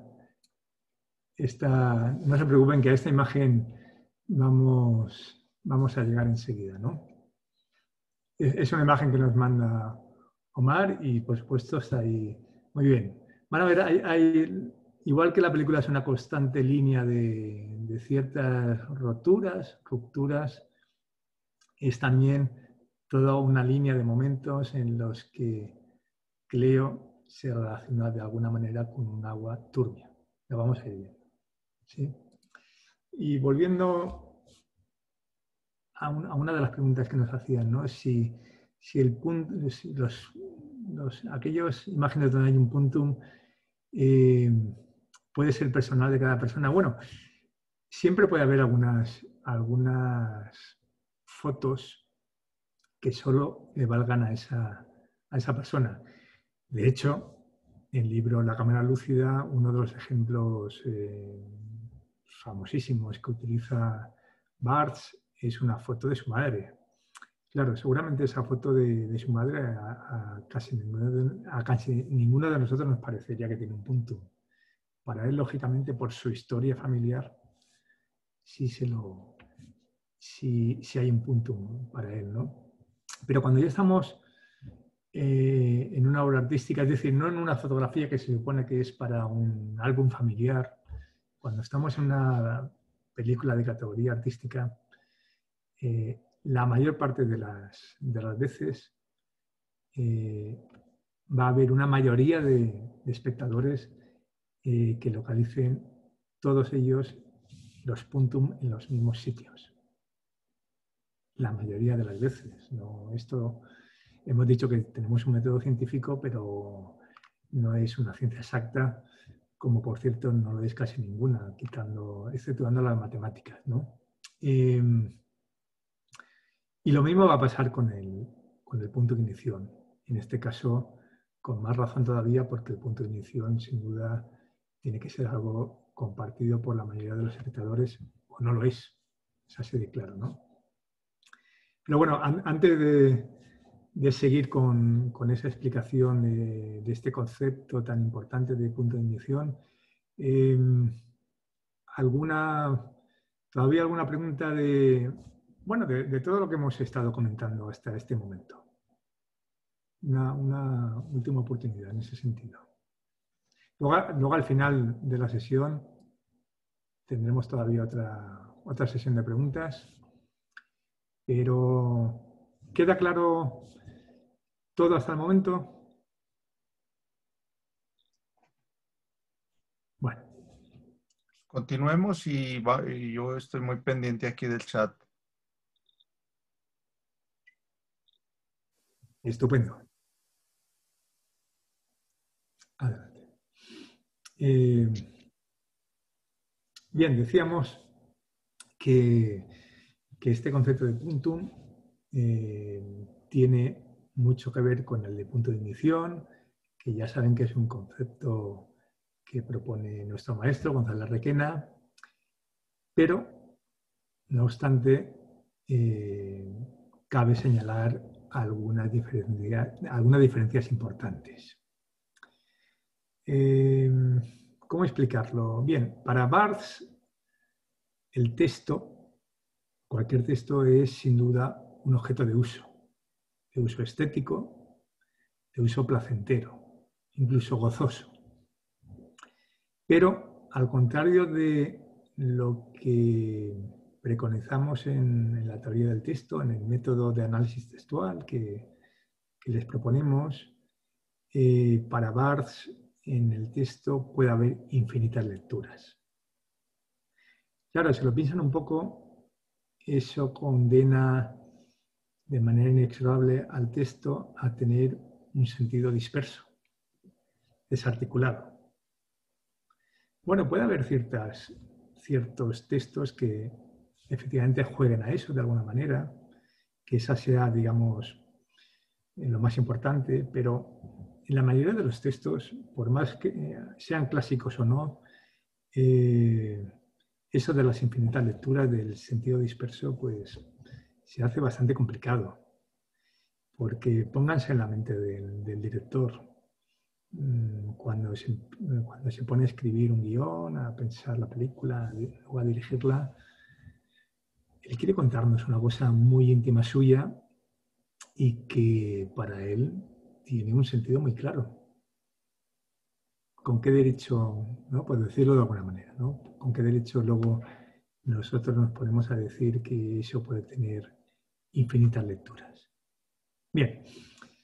Bien, eh, como le decía, Barthes habla del texto como un lugar de goce y también, también en cierta manera de sentido. O sea, el sentido como algo que es producido sensualmente.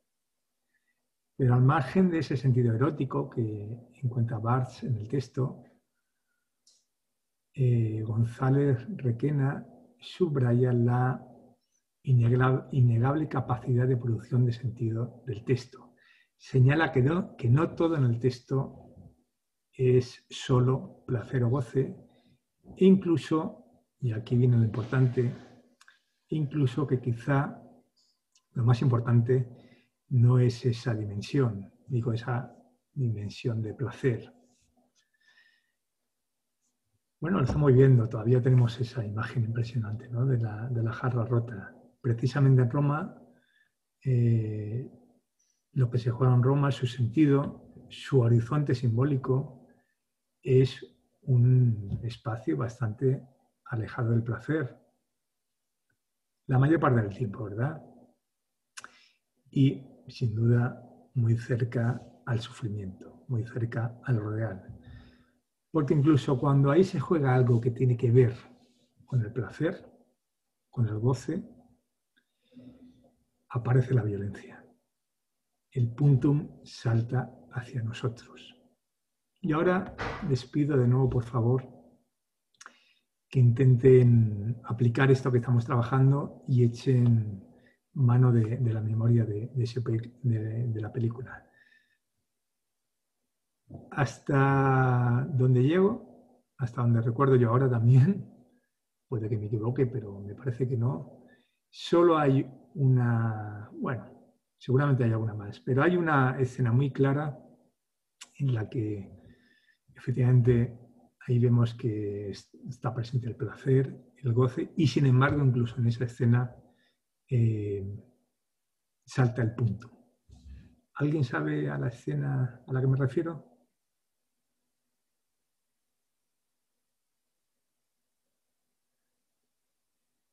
Ninguna mano. Bueno, Vamos a verla y enseguida se darán cuenta.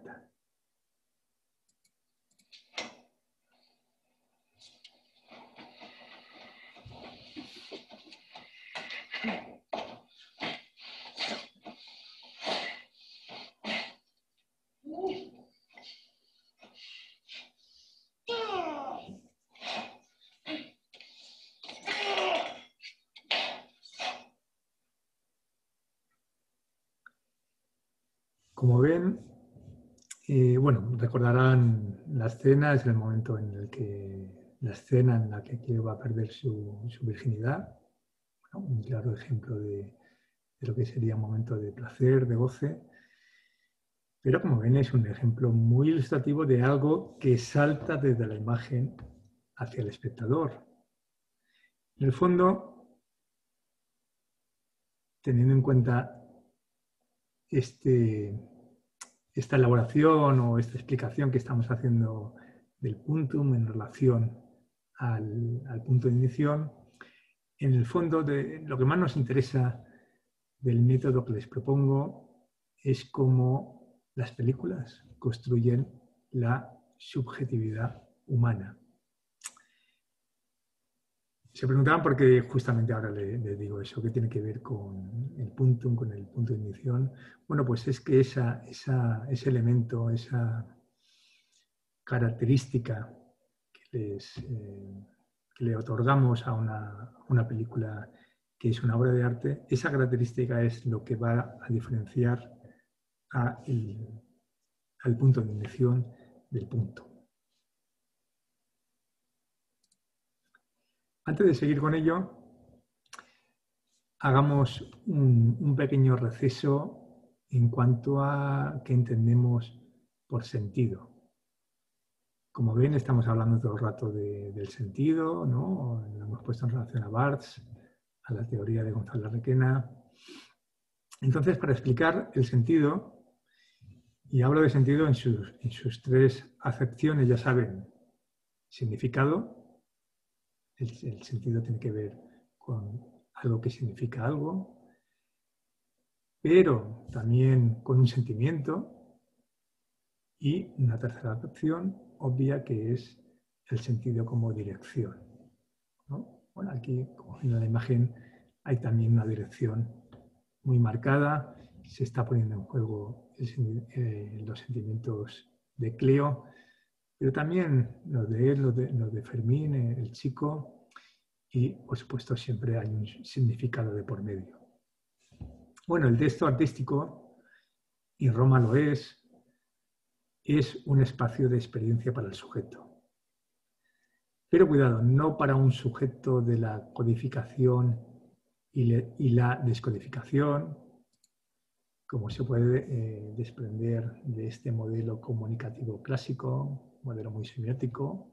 Imagino que varios de ustedes se vienen de, los estudios de comunicación, pues les sonará. Digo, cuando hablamos de la experiencia del sujeto, este esquema, no, este modelo no nos vale, porque el sujeto, el sujeto que se construye en el texto artístico es un sujeto que tiene que ver con la experiencia. Eh, es un sujeto de la lectura y de la escritura. Entonces partimos de la idea de que el texto artístico se configura como un espacio huella que da testimonio del esfuerzo de un sujeto por hacer las palabras que le permitan afrontar su experiencia. Y es que en una buena película, en una película que tiene que ver con el arte, a lo que nos enfrentamos es a una experiencia.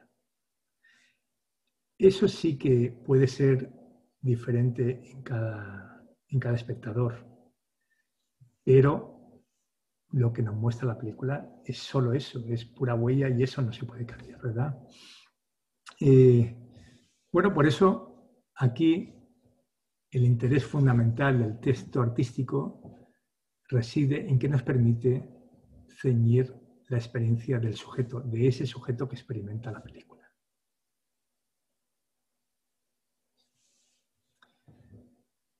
En este modelo de análisis que, que les propongo, es importante subrayar que es el texto, en última instancia, el que elige al sujeto, al analista, en tanto el sujeto se siente afectado por ese texto y no por otros.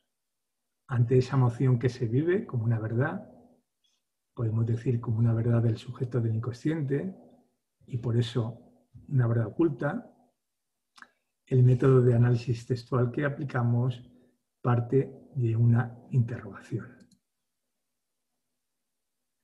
No entendemos por qué nos interesan ciertas películas, pero sabemos que nos interesan que nos han interesado y sabemos que tienen sabor, el sabor de una experiencia que en ellos ha tenido lugar. Bien, necesitamos comprender ese sabor, por eso analizamos las películas. Pero no es una pregunta lo que lanzamos, pues las preguntas, ya saben, si son respondidas, enseguida hace que nos aborramos del texto. Y si no lo son, desconectamos.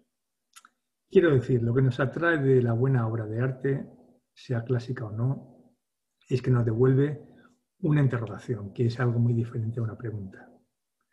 Porque la interrogación nunca es respondida y por eso volvemos una y otra vez sobre ciertas películas.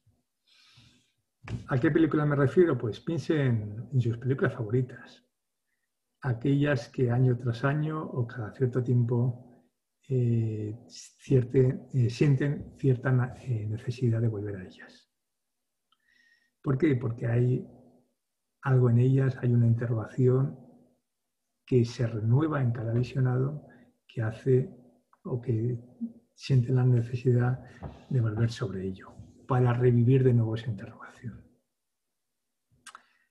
Ante esa emoción que nos mueve, nos interrogamos sobre qué es lo que nos convoca a esa película.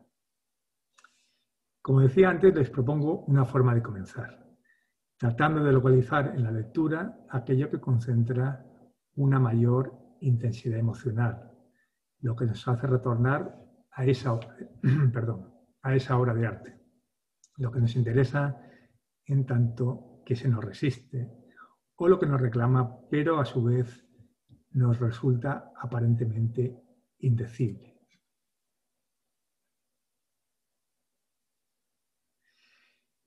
Evidentemente no se trata de decir lo indecible. Lo, lo, indecible es la experiencia, aquello que no circula, que no pasa en estos procesos comunicativos, que no puede ser codificado como información o como significación. Por eso no tiene sentido abordar el análisis del texto artístico desde el paradigma comunicativo, pues sería precisamente aquello que comunica mal lo que incitaría nuestra pasión. Y cuando digo modelo comunicativo, ya saben, me refiero a que la obra de arte no se puede resumir en un acto de comunicación, en un supuesto mensaje que lanzaría el autor.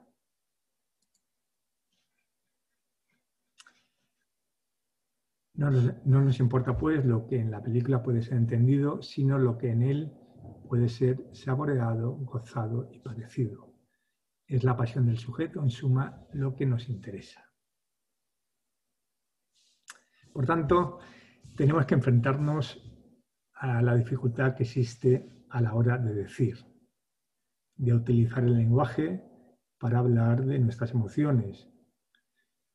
Emociones que en, última instancia están alojadas en, nuestro inconsciente, pero que los textos artísticos, los buenos textos artísticos, nos ayudan a que emerjan. Y es que todos sabemos, sabemos de la imposibilidad de comunicar, de transmitir al otro eso que después de todo es lo más importante, la pasión del sujeto, su experiencia de lo real.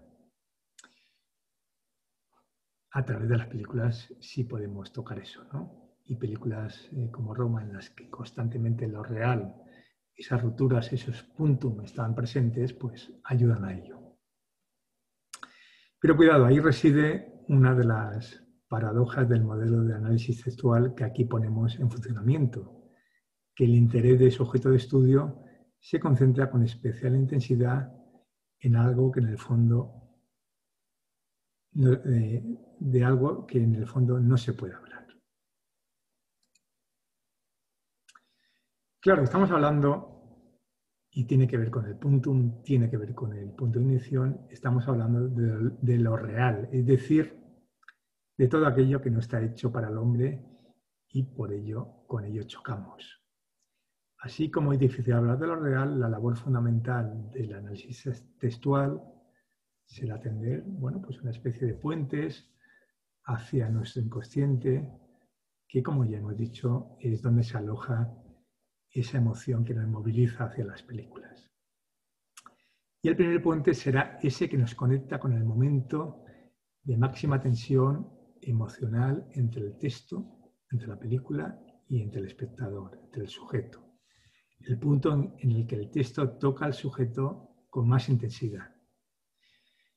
Pues bien, ese, ese, ese punto que venimos describiendo, ese punto de máxima intensidad, es el punto de ignición, que de nuevo tiene que ver con el puntum de Barthes, pero que como ya van viendo, de alguna manera va mucho más allá.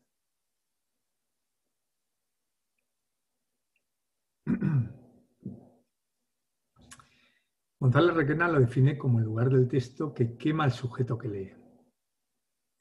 Es, el lugar de lo indecible, de lo real, el punto en que el texto interesa más al espectador. Nombra entonces el lugar que centra el sentido de la película, es un momento de tensión, de máxima potencia, que magnetiza todos los demás lugares del texto. Y por cierto, es un momento, y eso es, una pista que les va a ayudar mucho a, a localizarlo, es un momento, por decirlo de alguna manera, en el que ya no hay vuelta atrás en el relato. Es decir, que cuando sucede lo que ahí sucede, ya no se puede volver hacia atrás. Suele ser algo que le pasa al protagonista y a partir de ese punto, digamos que su vida cambia.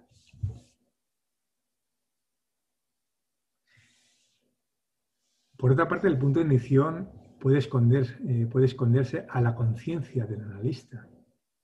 Ya saben, sobre todo si, como hemos dicho, vamos con cierto sentido tutor por delante, con ciertas ideologías. ¿no? Eh, es otra regla básica del análisis textual, de este método, que es que tenemos que intentar empezar el análisis de la manera más abierta posible, sin prejuicios, sin ideologías que vayan por delante. Otra cosa es si intencionalmente queremos hacer una lectura feminista o marxista o X. Bien, en ese caso es evidente que, no hay escapatoria ante, eso, pero si lo, queremos, eh, si lo que queremos hacer es realmente un análisis en profundidad, tenemos que intentar empezar el análisis lo más abiertos posible, sin prejuicios. Decía que el punto de edición, entonces, puede esconderse a la conciencia del analista y del espectador. Y en tanto que la emoción es consciente, podemos considerar esa emoción como el resultado de un desplazamiento de las cargas emocionales. Porque es el sujeto del inconsciente el que está en esa quemadura, en la herida del pulque, ¿no? como ya hemos venido analizando. Cuando encuentren una, eh, película cuyo punto de inicio les atrape, bueno, pues esa será su película. Otra cosa es que no siempre es fácil eh, localizar dónde está de inicio. Bueno, pues requiere de, cierta práctica. Yo ya les estoy dando algunas pistas. Y, bueno, vamos, durante estas dos sesiones vamos a, trabajar con ello. De hecho, es una tarea que les voy a poner para la, próxima sesión. Digo, eh, cuando encuentro una película en la, en la, que localicen un punto de inicio que les atrape, esa, esa es la película eh, que tienen que escoger para sus análisis. Y lo digo porque precisamente porque nos captura, aunque nos deje sin habla, es por lo que no podemos desentendernos de ese punto de inicio. Y desde ese mismo momento, nuestra tarea es ocuparnos del sentido que tiene en la película, en el relato. Entonces, regla básica del, análisis textual de este método. Tenemos que comenzar por localizar el punto de ignición, el corazón del cuerpo del texto, el motor que le da vida y que le hace sostenerse en su estructura. Y bien, ahora sí les toca a ustedes. Eh, ¿Dónde situarían, teniendo en cuenta todo lo que hemos comentado, dónde situarían ustedes el punto de inicio de la película? Yo tengo una idea, no la voy a decir de momento. Vamos a empezar a, trabajarlo hoy y, y continuaremos la semana que viene, pero de momento me interesa, a partir de, de la descripción que les he podido ir transmitiendo de lo que es teóricamente el punto de ignición, ¿dónde dirían ustedes que está situado? De todas maneras, si alguien tiene alguna duda, pues sobre, todavía sobre lo que es el punto de ignición, por favor que levante la mano y, lo diga previamente, pero directamente. Quiero, por ejemplo, Jairo. Adelante, por favor. Sí, a mí me parece que, es muy, muy importante esa imagen de, la espuma, ¿no? En el patio, la inicial, porque ahí es donde está, pues, el perro, ¿no? Y el perro es valorado un poco más que la misma Cleo, ¿no? Entonces ese, ese desagüe es el lugar que conecta a lo de la estratificación. Para mí ahí hay una gran riqueza, digamos, desde el punto de vista de arte. Yo lo, el punto lo leería desde el punto de vista de Willem Flusser. Tengo otro concepto, ¿no? Como el gesto, como el gesto. Entonces es el gesto que a mí me da la apertura, es, es el desagüe, esa, ese, esas, esas baldosas diferenciadas, desunidas, como una comunidad compuesta por varias partes, pero desunidas, ¿no? Por el color, por las escisiones, por los resquicios. Y entonces ese mundo de abajo que podría decirse, pues es quizás el submundo en un sentido espiritual, lo demoníaco y lo de arriba, pero también está donde viven los niños, cómo está configurada la casa, ¿no? Cómo está configurada la casa con, con los dos pisos, o no sé si son dos, bueno, hasta creo que hay un desván.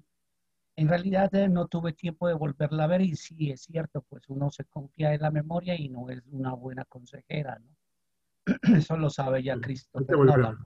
Entonces, bueno, hay, eh, una cosa, sí. para mí sería como ese, ¿no? Como ese que me, me hace ver que habemos unos tipos de personas en la sociedad mundial, no solo la latinoamericana, que estamos estratificados, ¿no? Por el color de la piel, qué sé yo, por la educación. Y entonces ella tiene esta cosa aquí, en Nariño se le llama cocinera, acá en Pasto la que cocina, la cocinera es despectivo, ¿no? La mm. muchacha de servicio incluso es despectivo, ¿no? Entonces, el hecho de ser indígena, de ser mujer y estar ubicada en una época en México muy especial, y además que la película está aliada no solo por Roma, pues yo sí sé por qué se, que se llama así, pues, pero de todas maneras quiero desconocerlo, porque me voy a Roma, ciudad abierta, entonces es que quiero irme por ahí, pero de todas maneras, eh, e, ese, ese fotograma para mí es fundacional. Allí va a estar el carro, por ejemplo, ¿no? En ese garaje, que es el elemento del, de la pequeña burguesía, ¿no? no solo de México, sino de todo el mundo, ¿no? Llegaremos a eso. Yo creo que de ahí me desprendo a una de lectura increíble. Con calma, con calma, no, pero muy bien. A ver, yo le diría, Jairo, eh, muy, muy interesante y muy, muy acertado casi todo, casi todo, desde mi punto de vista. ¿eh? Eh, lo que está diciendo, y además enseguida vamos a analizar esa, esa, secuencia del arranque que usted está señalando, pero solo una, una matización y por eso era lo del casi. No, no, ahora, ahora cuidado, esto, es importante. Espero, si alguien más tiene la duda, por favor que, me lo diga. No es lo mismo, no es exactamente lo mismo el puntum que el punto de inición. Tienen que ver, pero de nuevo, el punto de inición va mucho más allá. Es mucho más importante en el sentido de que, digamos, bueno, por decirlo de alguna manera, es el, el, el puntum más importante que en esa escena que está marcado del arranque haya un punto en esa, espuma que se forma, bueno, en, esa porquería que hay ahí, ¿no? Porquería, pero que ya empieza a estar limpio. Por supuesto, ya alguien, alguien lo ha comentado antes, pero no, no es el punto. No, es, es muy raro, se puede dar el caso, ¿eh? pero sería muy raro eh, es muy raro que justo en el arranque de una película esté el, punto de inición. Que haya un punto, puede haberlo en cualquier, en cualquier lugar. Pero un punto de inición, el punto de inición más importante en el arranque de la película es, es raro. tiene que dar, se tiene que dar cierto tiempo, cierto espacio para que la cosa empiece a cuajar y, y a calentarse y, bueno, y a mezclarse los elementos, ¿no? Em, yo todavía no le voy a decir dónde creo que está, pero ahí sí reconozco que ahí, ahí no estaría. Pero cuidado, usted, claro, usted está, hablando del puntum, con lo cual estaría bien respondido si la pregunta era un puntum. Pero no, estamos hablando del punto de inición, que es, ¿se entiende? ¿Usted entiende bien la diferencia entre punto de inición y puntum? No. Vale, pues hago, un resumen de, lo que he estado comentando hasta ahora, que imagino que le vendrá bien a, todos.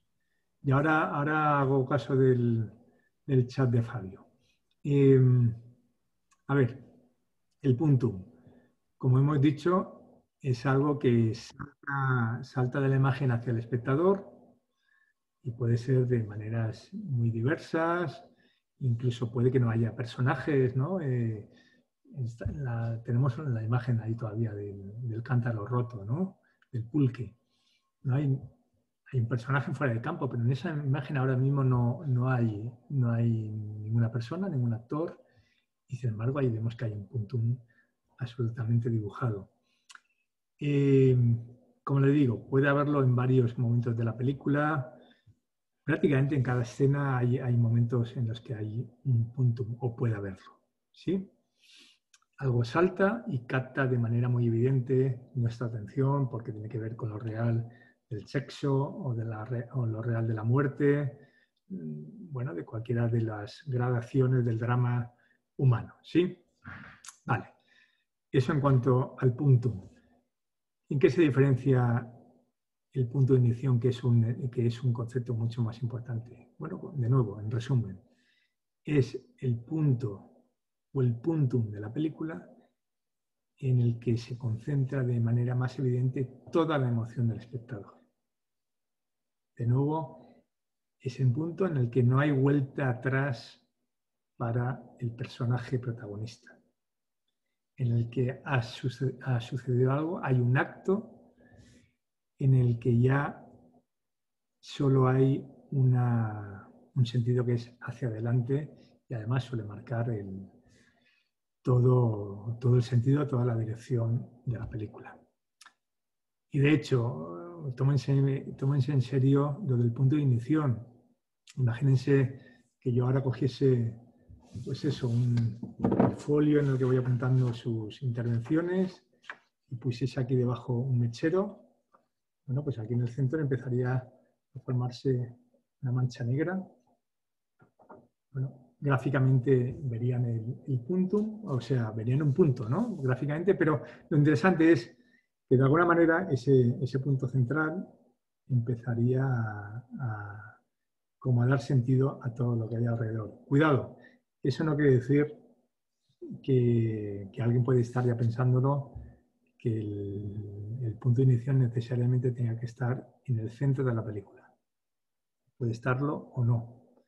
El centro de la película, como estamos viendo, ahí lo tenemos, el cántaro roto, es un, es un punto muy importante dentro de, lo que es toda la extensión de, cualquier película, pero el, punto de inicio, como le digo, tiene que ver más con la emoción íntima del espectador. ¿Me entiende un poco más claro ahora?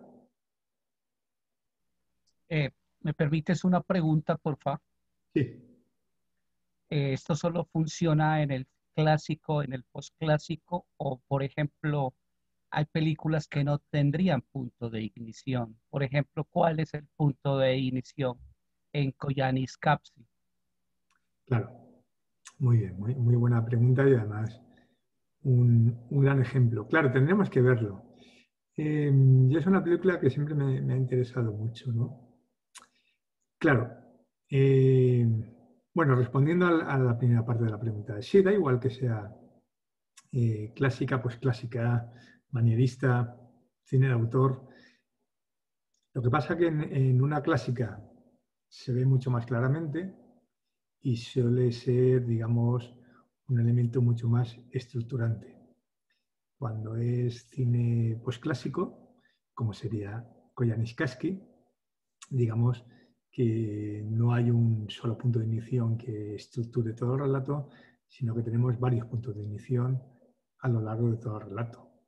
Si usted piensa en Koyaanisqatsi, no sé si lo han visto el resto de sus compañeros, eh, es como en cada una de esos episodios de esa especie de, bueno, es también una especie de ensayo, ¿no? No, autobiográfico, pero es una especie de ensayo documental, ¿no? en cada uno de esos episodios podemos decir que hay un momento de máxima intensidad. Vaya pensando en, los diferentes episodios y se da cuenta, ¿no? Entonces, da igual, da igual el modelo de representación concreto, pero sí puede cambiar, digamos, eh, su poder estructurante del relato. Eh, hay varias intervenciones en el chat. Vamos a retomar alguna. Por ejemplo, Fabio dice en el cine, cuando todo empieza a marchar mal, donde ya no hay retorno, pero de acuerdo, desde a lo que entiendo que todo va para abajo. Bueno, también de la escena del tipo eh, que empieza a practicar, karate. Es la escena que hemos visto. También puede ser la sala del hospital, cuando ya murió, ya que no hay que reviva las cosas. Sí, esa, es interesante, pero cuidado. Eh, claro, es que el bebé muere, ¿no? Si, si ahí se acabase la película, sí. Pero lo interesante eh, fíjese, es, una película larga. Podría, podría haber acabado ahí perfectamente, ¿no? Y, ya está, y, podría ser así la película. Y, sin embargo continúa. Eso, eso, es importante porque digamos que ese, ese es el agujero negro de la película, ¿no? hablando de, puntos y de agujeros, que es la muerte de la bebé. Pero sin embargo, eh, la película continúa y nos lleva a otro, bueno, nos llega, llegaremos a ello. Salimos del agujero de alguna manera, ¿no? Pero bien, ¿no? Muy bien, muy bien la, reflexión, Fabio. Vamos a ver. Eh, Jairán López dice, el punto de inicio sería similar al punto de giro en, literatura. Bueno, hay puntos de giro también en, es, una técnica típica de, guion. Eh, mm, ni sí ni no, quiero decir, seguramente eh, el punto de inición seguramente va a, coincidir con algún punto de giro, pero no, tiene por qué. ¿eh? Y, luego puntos de giro, pues ya saben, como mínimo en, el guion, digamos, de la película estándar.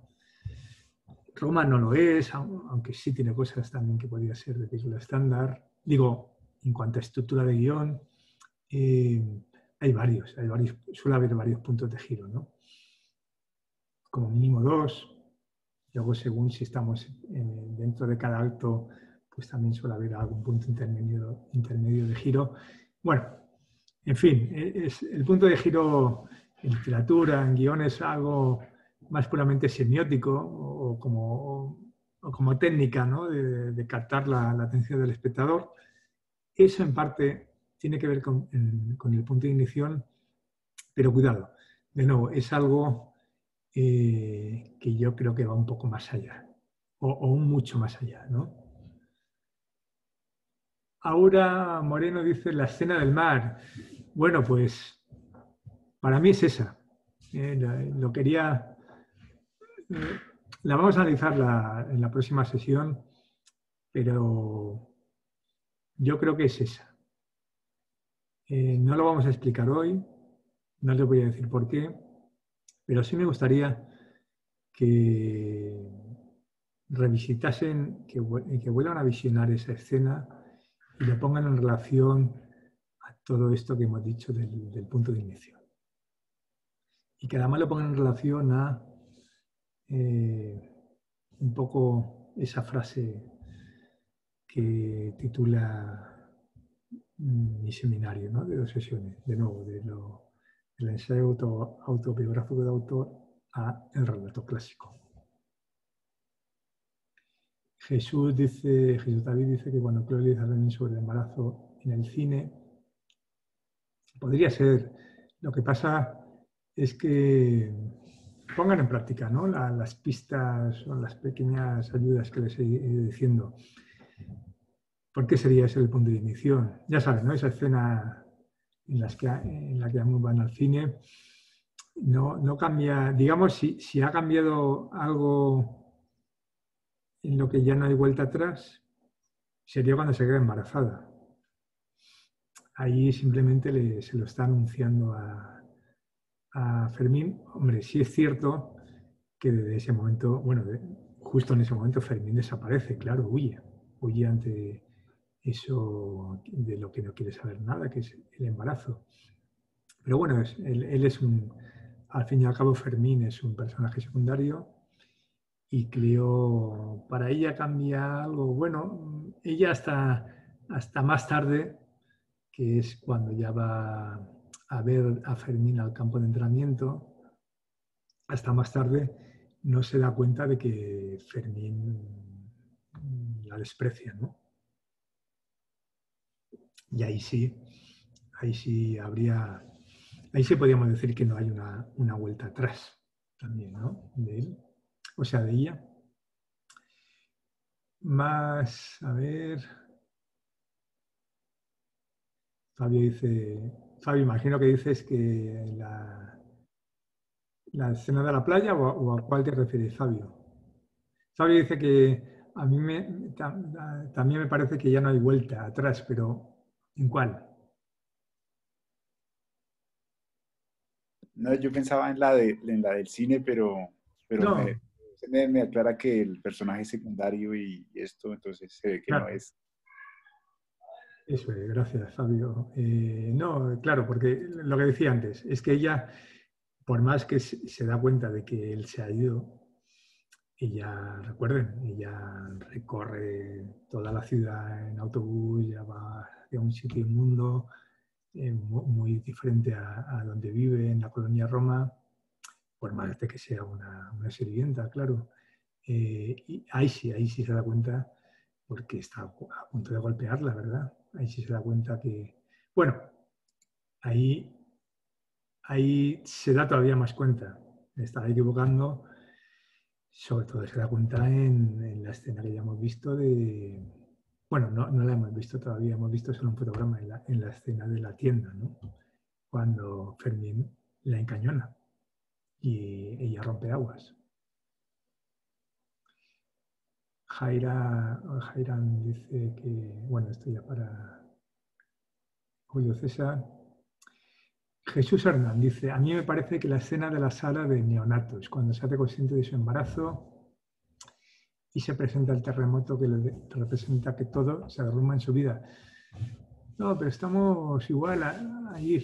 Bueno, a ver, por supuesto, el embarazo es un, el embarazo le cambia su vida, sin duda, de, alguna manera, y podemos decir que, hay también una no vuelta atrás, ya, es, ya sería eh, Cleo y la bebé. Pero claro, eh, es, una, vida no, nacida todavía, ¿no? Quiero decir que puede pasar lo que efectivamente pasa en, la película, que nace muerta.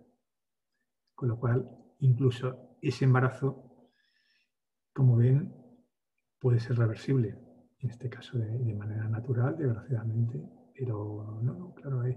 Es decir, Jesús eh, es, un buen apunte, eh, sin duda ese podría ser, pero claro, es que hasta eso puede ser reversible, lo pierde y vuelve a su vida anterior. Vuelve a su vida anterior, digamos, exteriormente. Todos sabemos y eso es algo que, la película...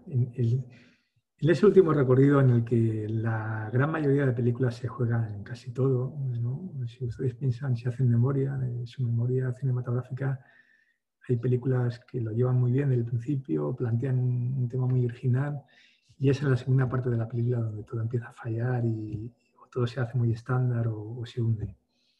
Y sin embargo, precisamente aquí en esta película, eh, después de, ese nacimiento de, la bebé muerta, eh, de nuevo, es que nos vamos hacia el, hacia el, relato clásico y la película empieza a crecer de nuevo de una manera maravillosa, ¿no? Bueno, espero que en la próxima sesión nos, dé tiempo a verlo.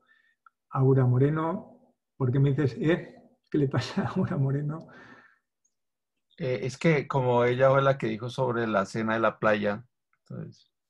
Ah, bueno. Después eh, eh, ya la que ha acertado, se ríe. Bueno, claro, claro, pero ahora, ahora, ahora, ahora, ahora, nos toca convencer al resto de compañeros de que esa es la escena del punto de ignición.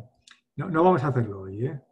porque me gustaría que estuviésemos más frescos, empezar con ello en la próxima sesión y sobre todo que ustedes puedan ver de nuevo esa, como le decía antes, esa escena, pero ya con este recorrido teórico que disculpen si en un momento dado pues, se puede hacer muy, muy pesado.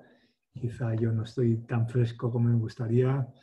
Son las, las dos y media de la mañana aquí en España, pero bueno, espero que les, eh, les haya quedado claro. Y de nuevo les invito, si, si todavía hace falta que insistamos en esto, sobre todo ya con el punto de ignición. El punto es algo que nos puede ayudar de escena a escena. Es un ejercicio muy, muy, muy bueno, ¿no? Y intentando... Sí. Sí, no, eh, pues no me parece, pues, eh, eficaz eh, ir redondeando acá porque, digamos, de todas maneras hemos estado de largo y pues tú también te me trasnochas y así entonces aquí se dice no, nos lo cobran por, por bueno.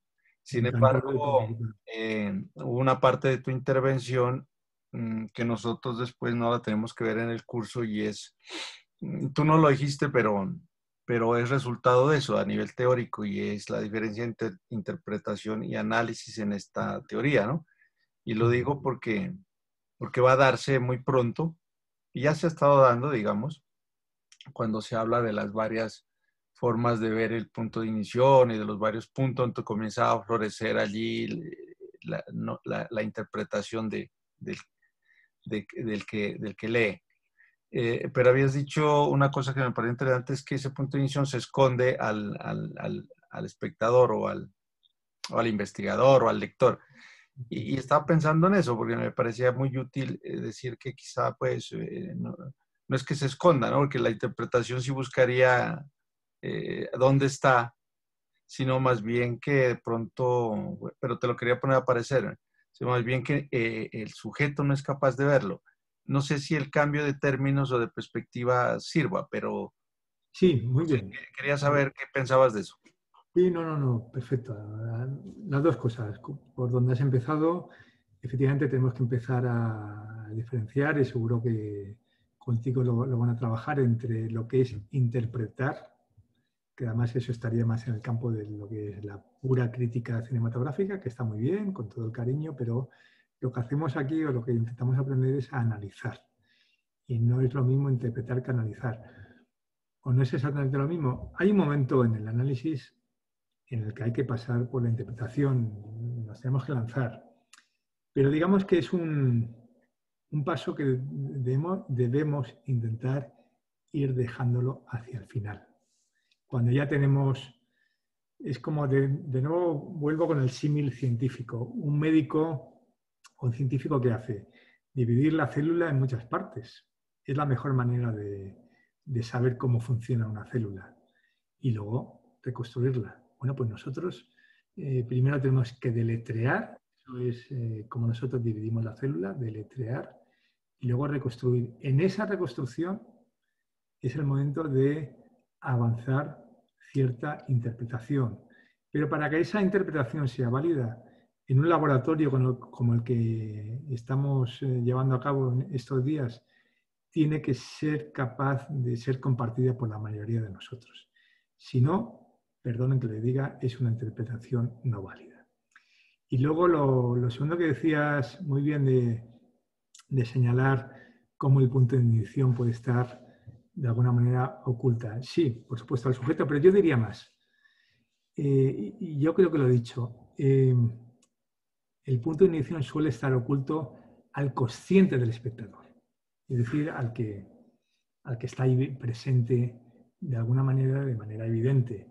Pero cuidado, yo siempre digo que un espectador está en la sala de cine o analizando la película con nuestro ordenador, siempre son dos realmente el consciente, que es el que se da cuenta de las cosas evidentes, y siempre hay un espectador inconsciente.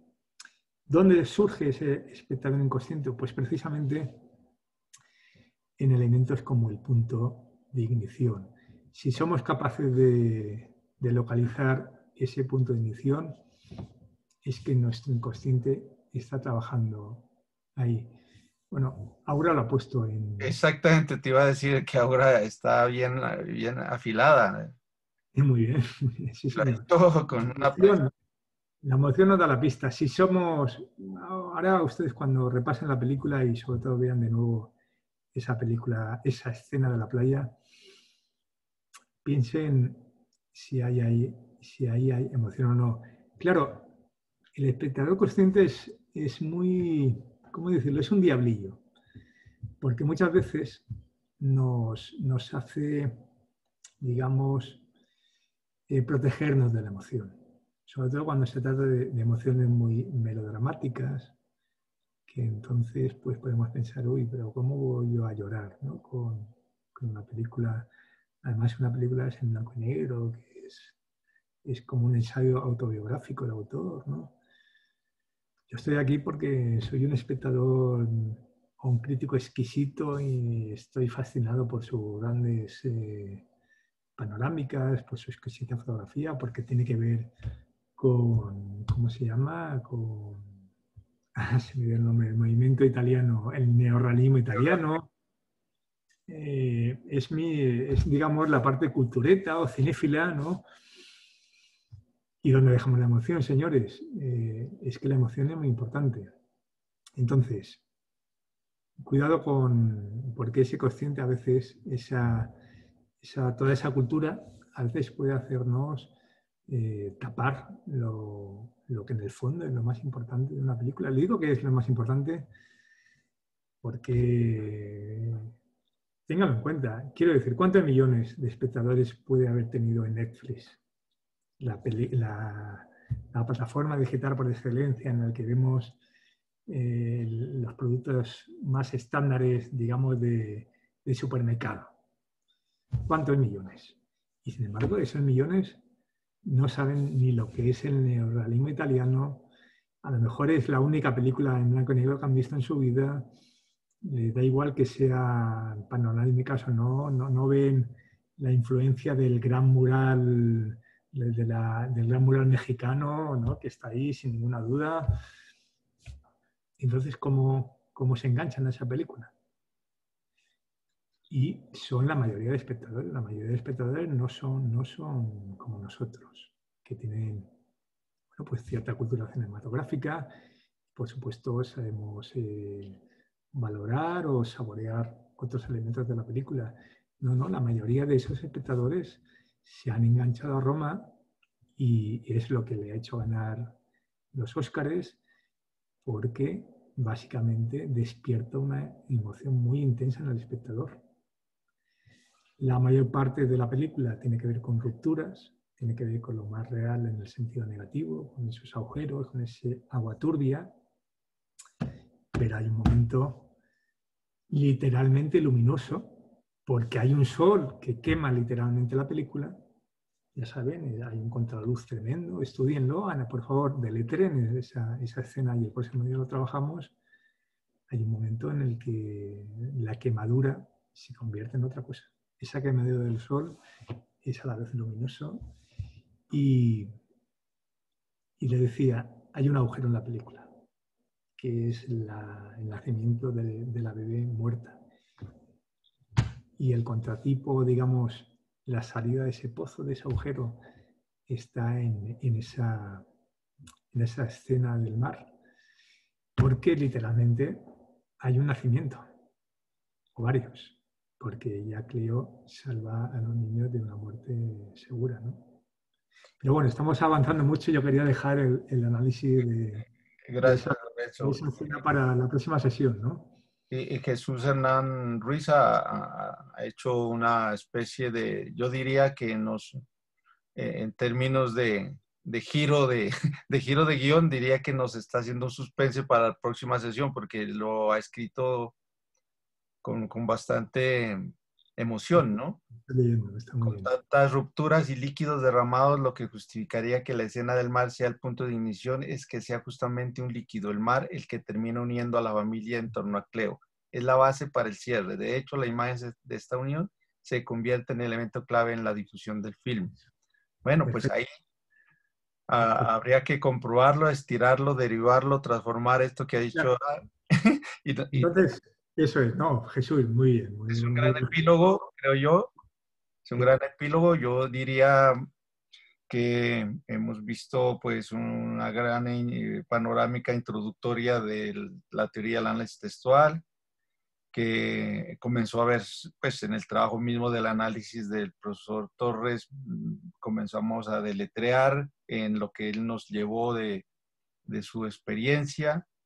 Se habló del punto, del punto de inición, hacen algunas diferencias, hay que las aclarando. Yo, yo les he dicho a los estudiantes de mi curso y a los que tengo talleres que están conectados también que hay que tener calma con estos eh, conceptos. No estamos tan interesados en que se manejen, pues, como se maneja el, el, el análisis discursivo o semiótico o sociológico, pero se va aprendiendo en la medida en que se va practicando, pues, se va experimentando, digamos, o se va conectando la experiencia con las imágenes y uno va entendiendo allí cómo funcionan, de manera que lo que sí quisiera es, bueno, ir resumiendo para dejarlos descansar al profesor Lorenzo y nosotros también, que ya se va cerrando el, el tiempo, no quisiera ser abusar, abusar, abusador ni del tiempo de, de, conferencista, ni tampoco el tiempo nuestro.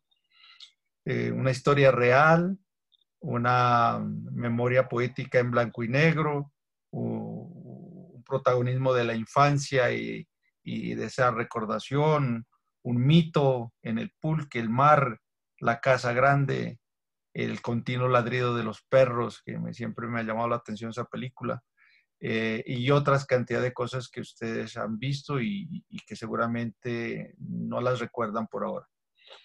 Pues em, ver la película, si no la han visto, y si quieren pues volverla a ver, a mí me ocurre siempre eso, salgo disparado, volver a ver y a comprobar o a tratar de experimentar cosas más fuertes de las que me están, digamos, compartiendo o comunicando. Eh, está el artículo también de, del profesor Lorenzo Torres. Muchas cosas de las que ha dicho él eh, están allí. Eh, no les he dicho que, por ejemplo, el profesor Torres es un experto en taekwondo, así que tiene mucha lectura de las artes marciales, para que lo sepan. Eh, que es algo que compartimos juntos. Yo ya hace rato que eso pasó para mí, pero él no. Eh, en fin, eh, entonces volveremos a retomar el otro miércoles con mayor pasión, diría yo, y emoción, como nos ha dicho Aura, que me parece que apuntó, apuntó bien. no sé, profesor Lorenzo, despida usted a los chicos por esta sesión y, y estaremos compartiendo con usted otro trasnocho y, pero otra delicioso trasnocho porque muy rico. le dejo la despedida. Muchas gracias, profesor Goyes. Gracias a todos los participantes. Eh, como ven, el laboratorio ha funcionado, han salido ideas de verdad fantásticas. Yo por lo, oh, por lo menos, ya que me han hecho trasnochar, pues me voy muy contento ahora sí a la cama porque veo que, que, la cosa está funcionando, han salido ideas muy interesantes eh, ya saben que tienen una tarea. Tienen que ver de nuevo esa, escena y, un poco la, extensión de, esa tarea es que entonces intenten entender el resto de la película a partir de ese punto de inicio. A, partir de eso, si son capaces de relacionarlo con cualesquiera otros lugares de la película, van a ver, van a entender de verdad lo que es el, punto de inicio. Entonces, muchas gracias por estar ahí y nos vemos el próximo miércoles. Gracias. Profesor Lorenzo Torres, muchísimas gracias por su tiempo, por su generoso saber y, bueno, entonces nos vemos pronto. A todos ustedes, eh, una feliz noche, gracias por estar allí, qué lindo compartir también otro tipo de cosas, lo necesitamos, necesitamos otros enfoques, necesitamos continuar pensando, pero también emocionándonos de otras maneras, de otras formas de construir también eh, realidades y de enfrentar eso que a veces nos, nos pone muy mal y que nos desacomoda. Que tengan ustedes buena noche a todos y a todas ustedes. Muchas gracias, Julio. Un abrazo de parte de la corporación Hablemos de Cine. Buena, feliz noche. Muchas gracias. Hasta luego. Que estén muy bien. Gracias. Muchas gracias a todos. Abrazos para Lorenzo, Julio César, Jairo, la maestría. Gracias. Gracias.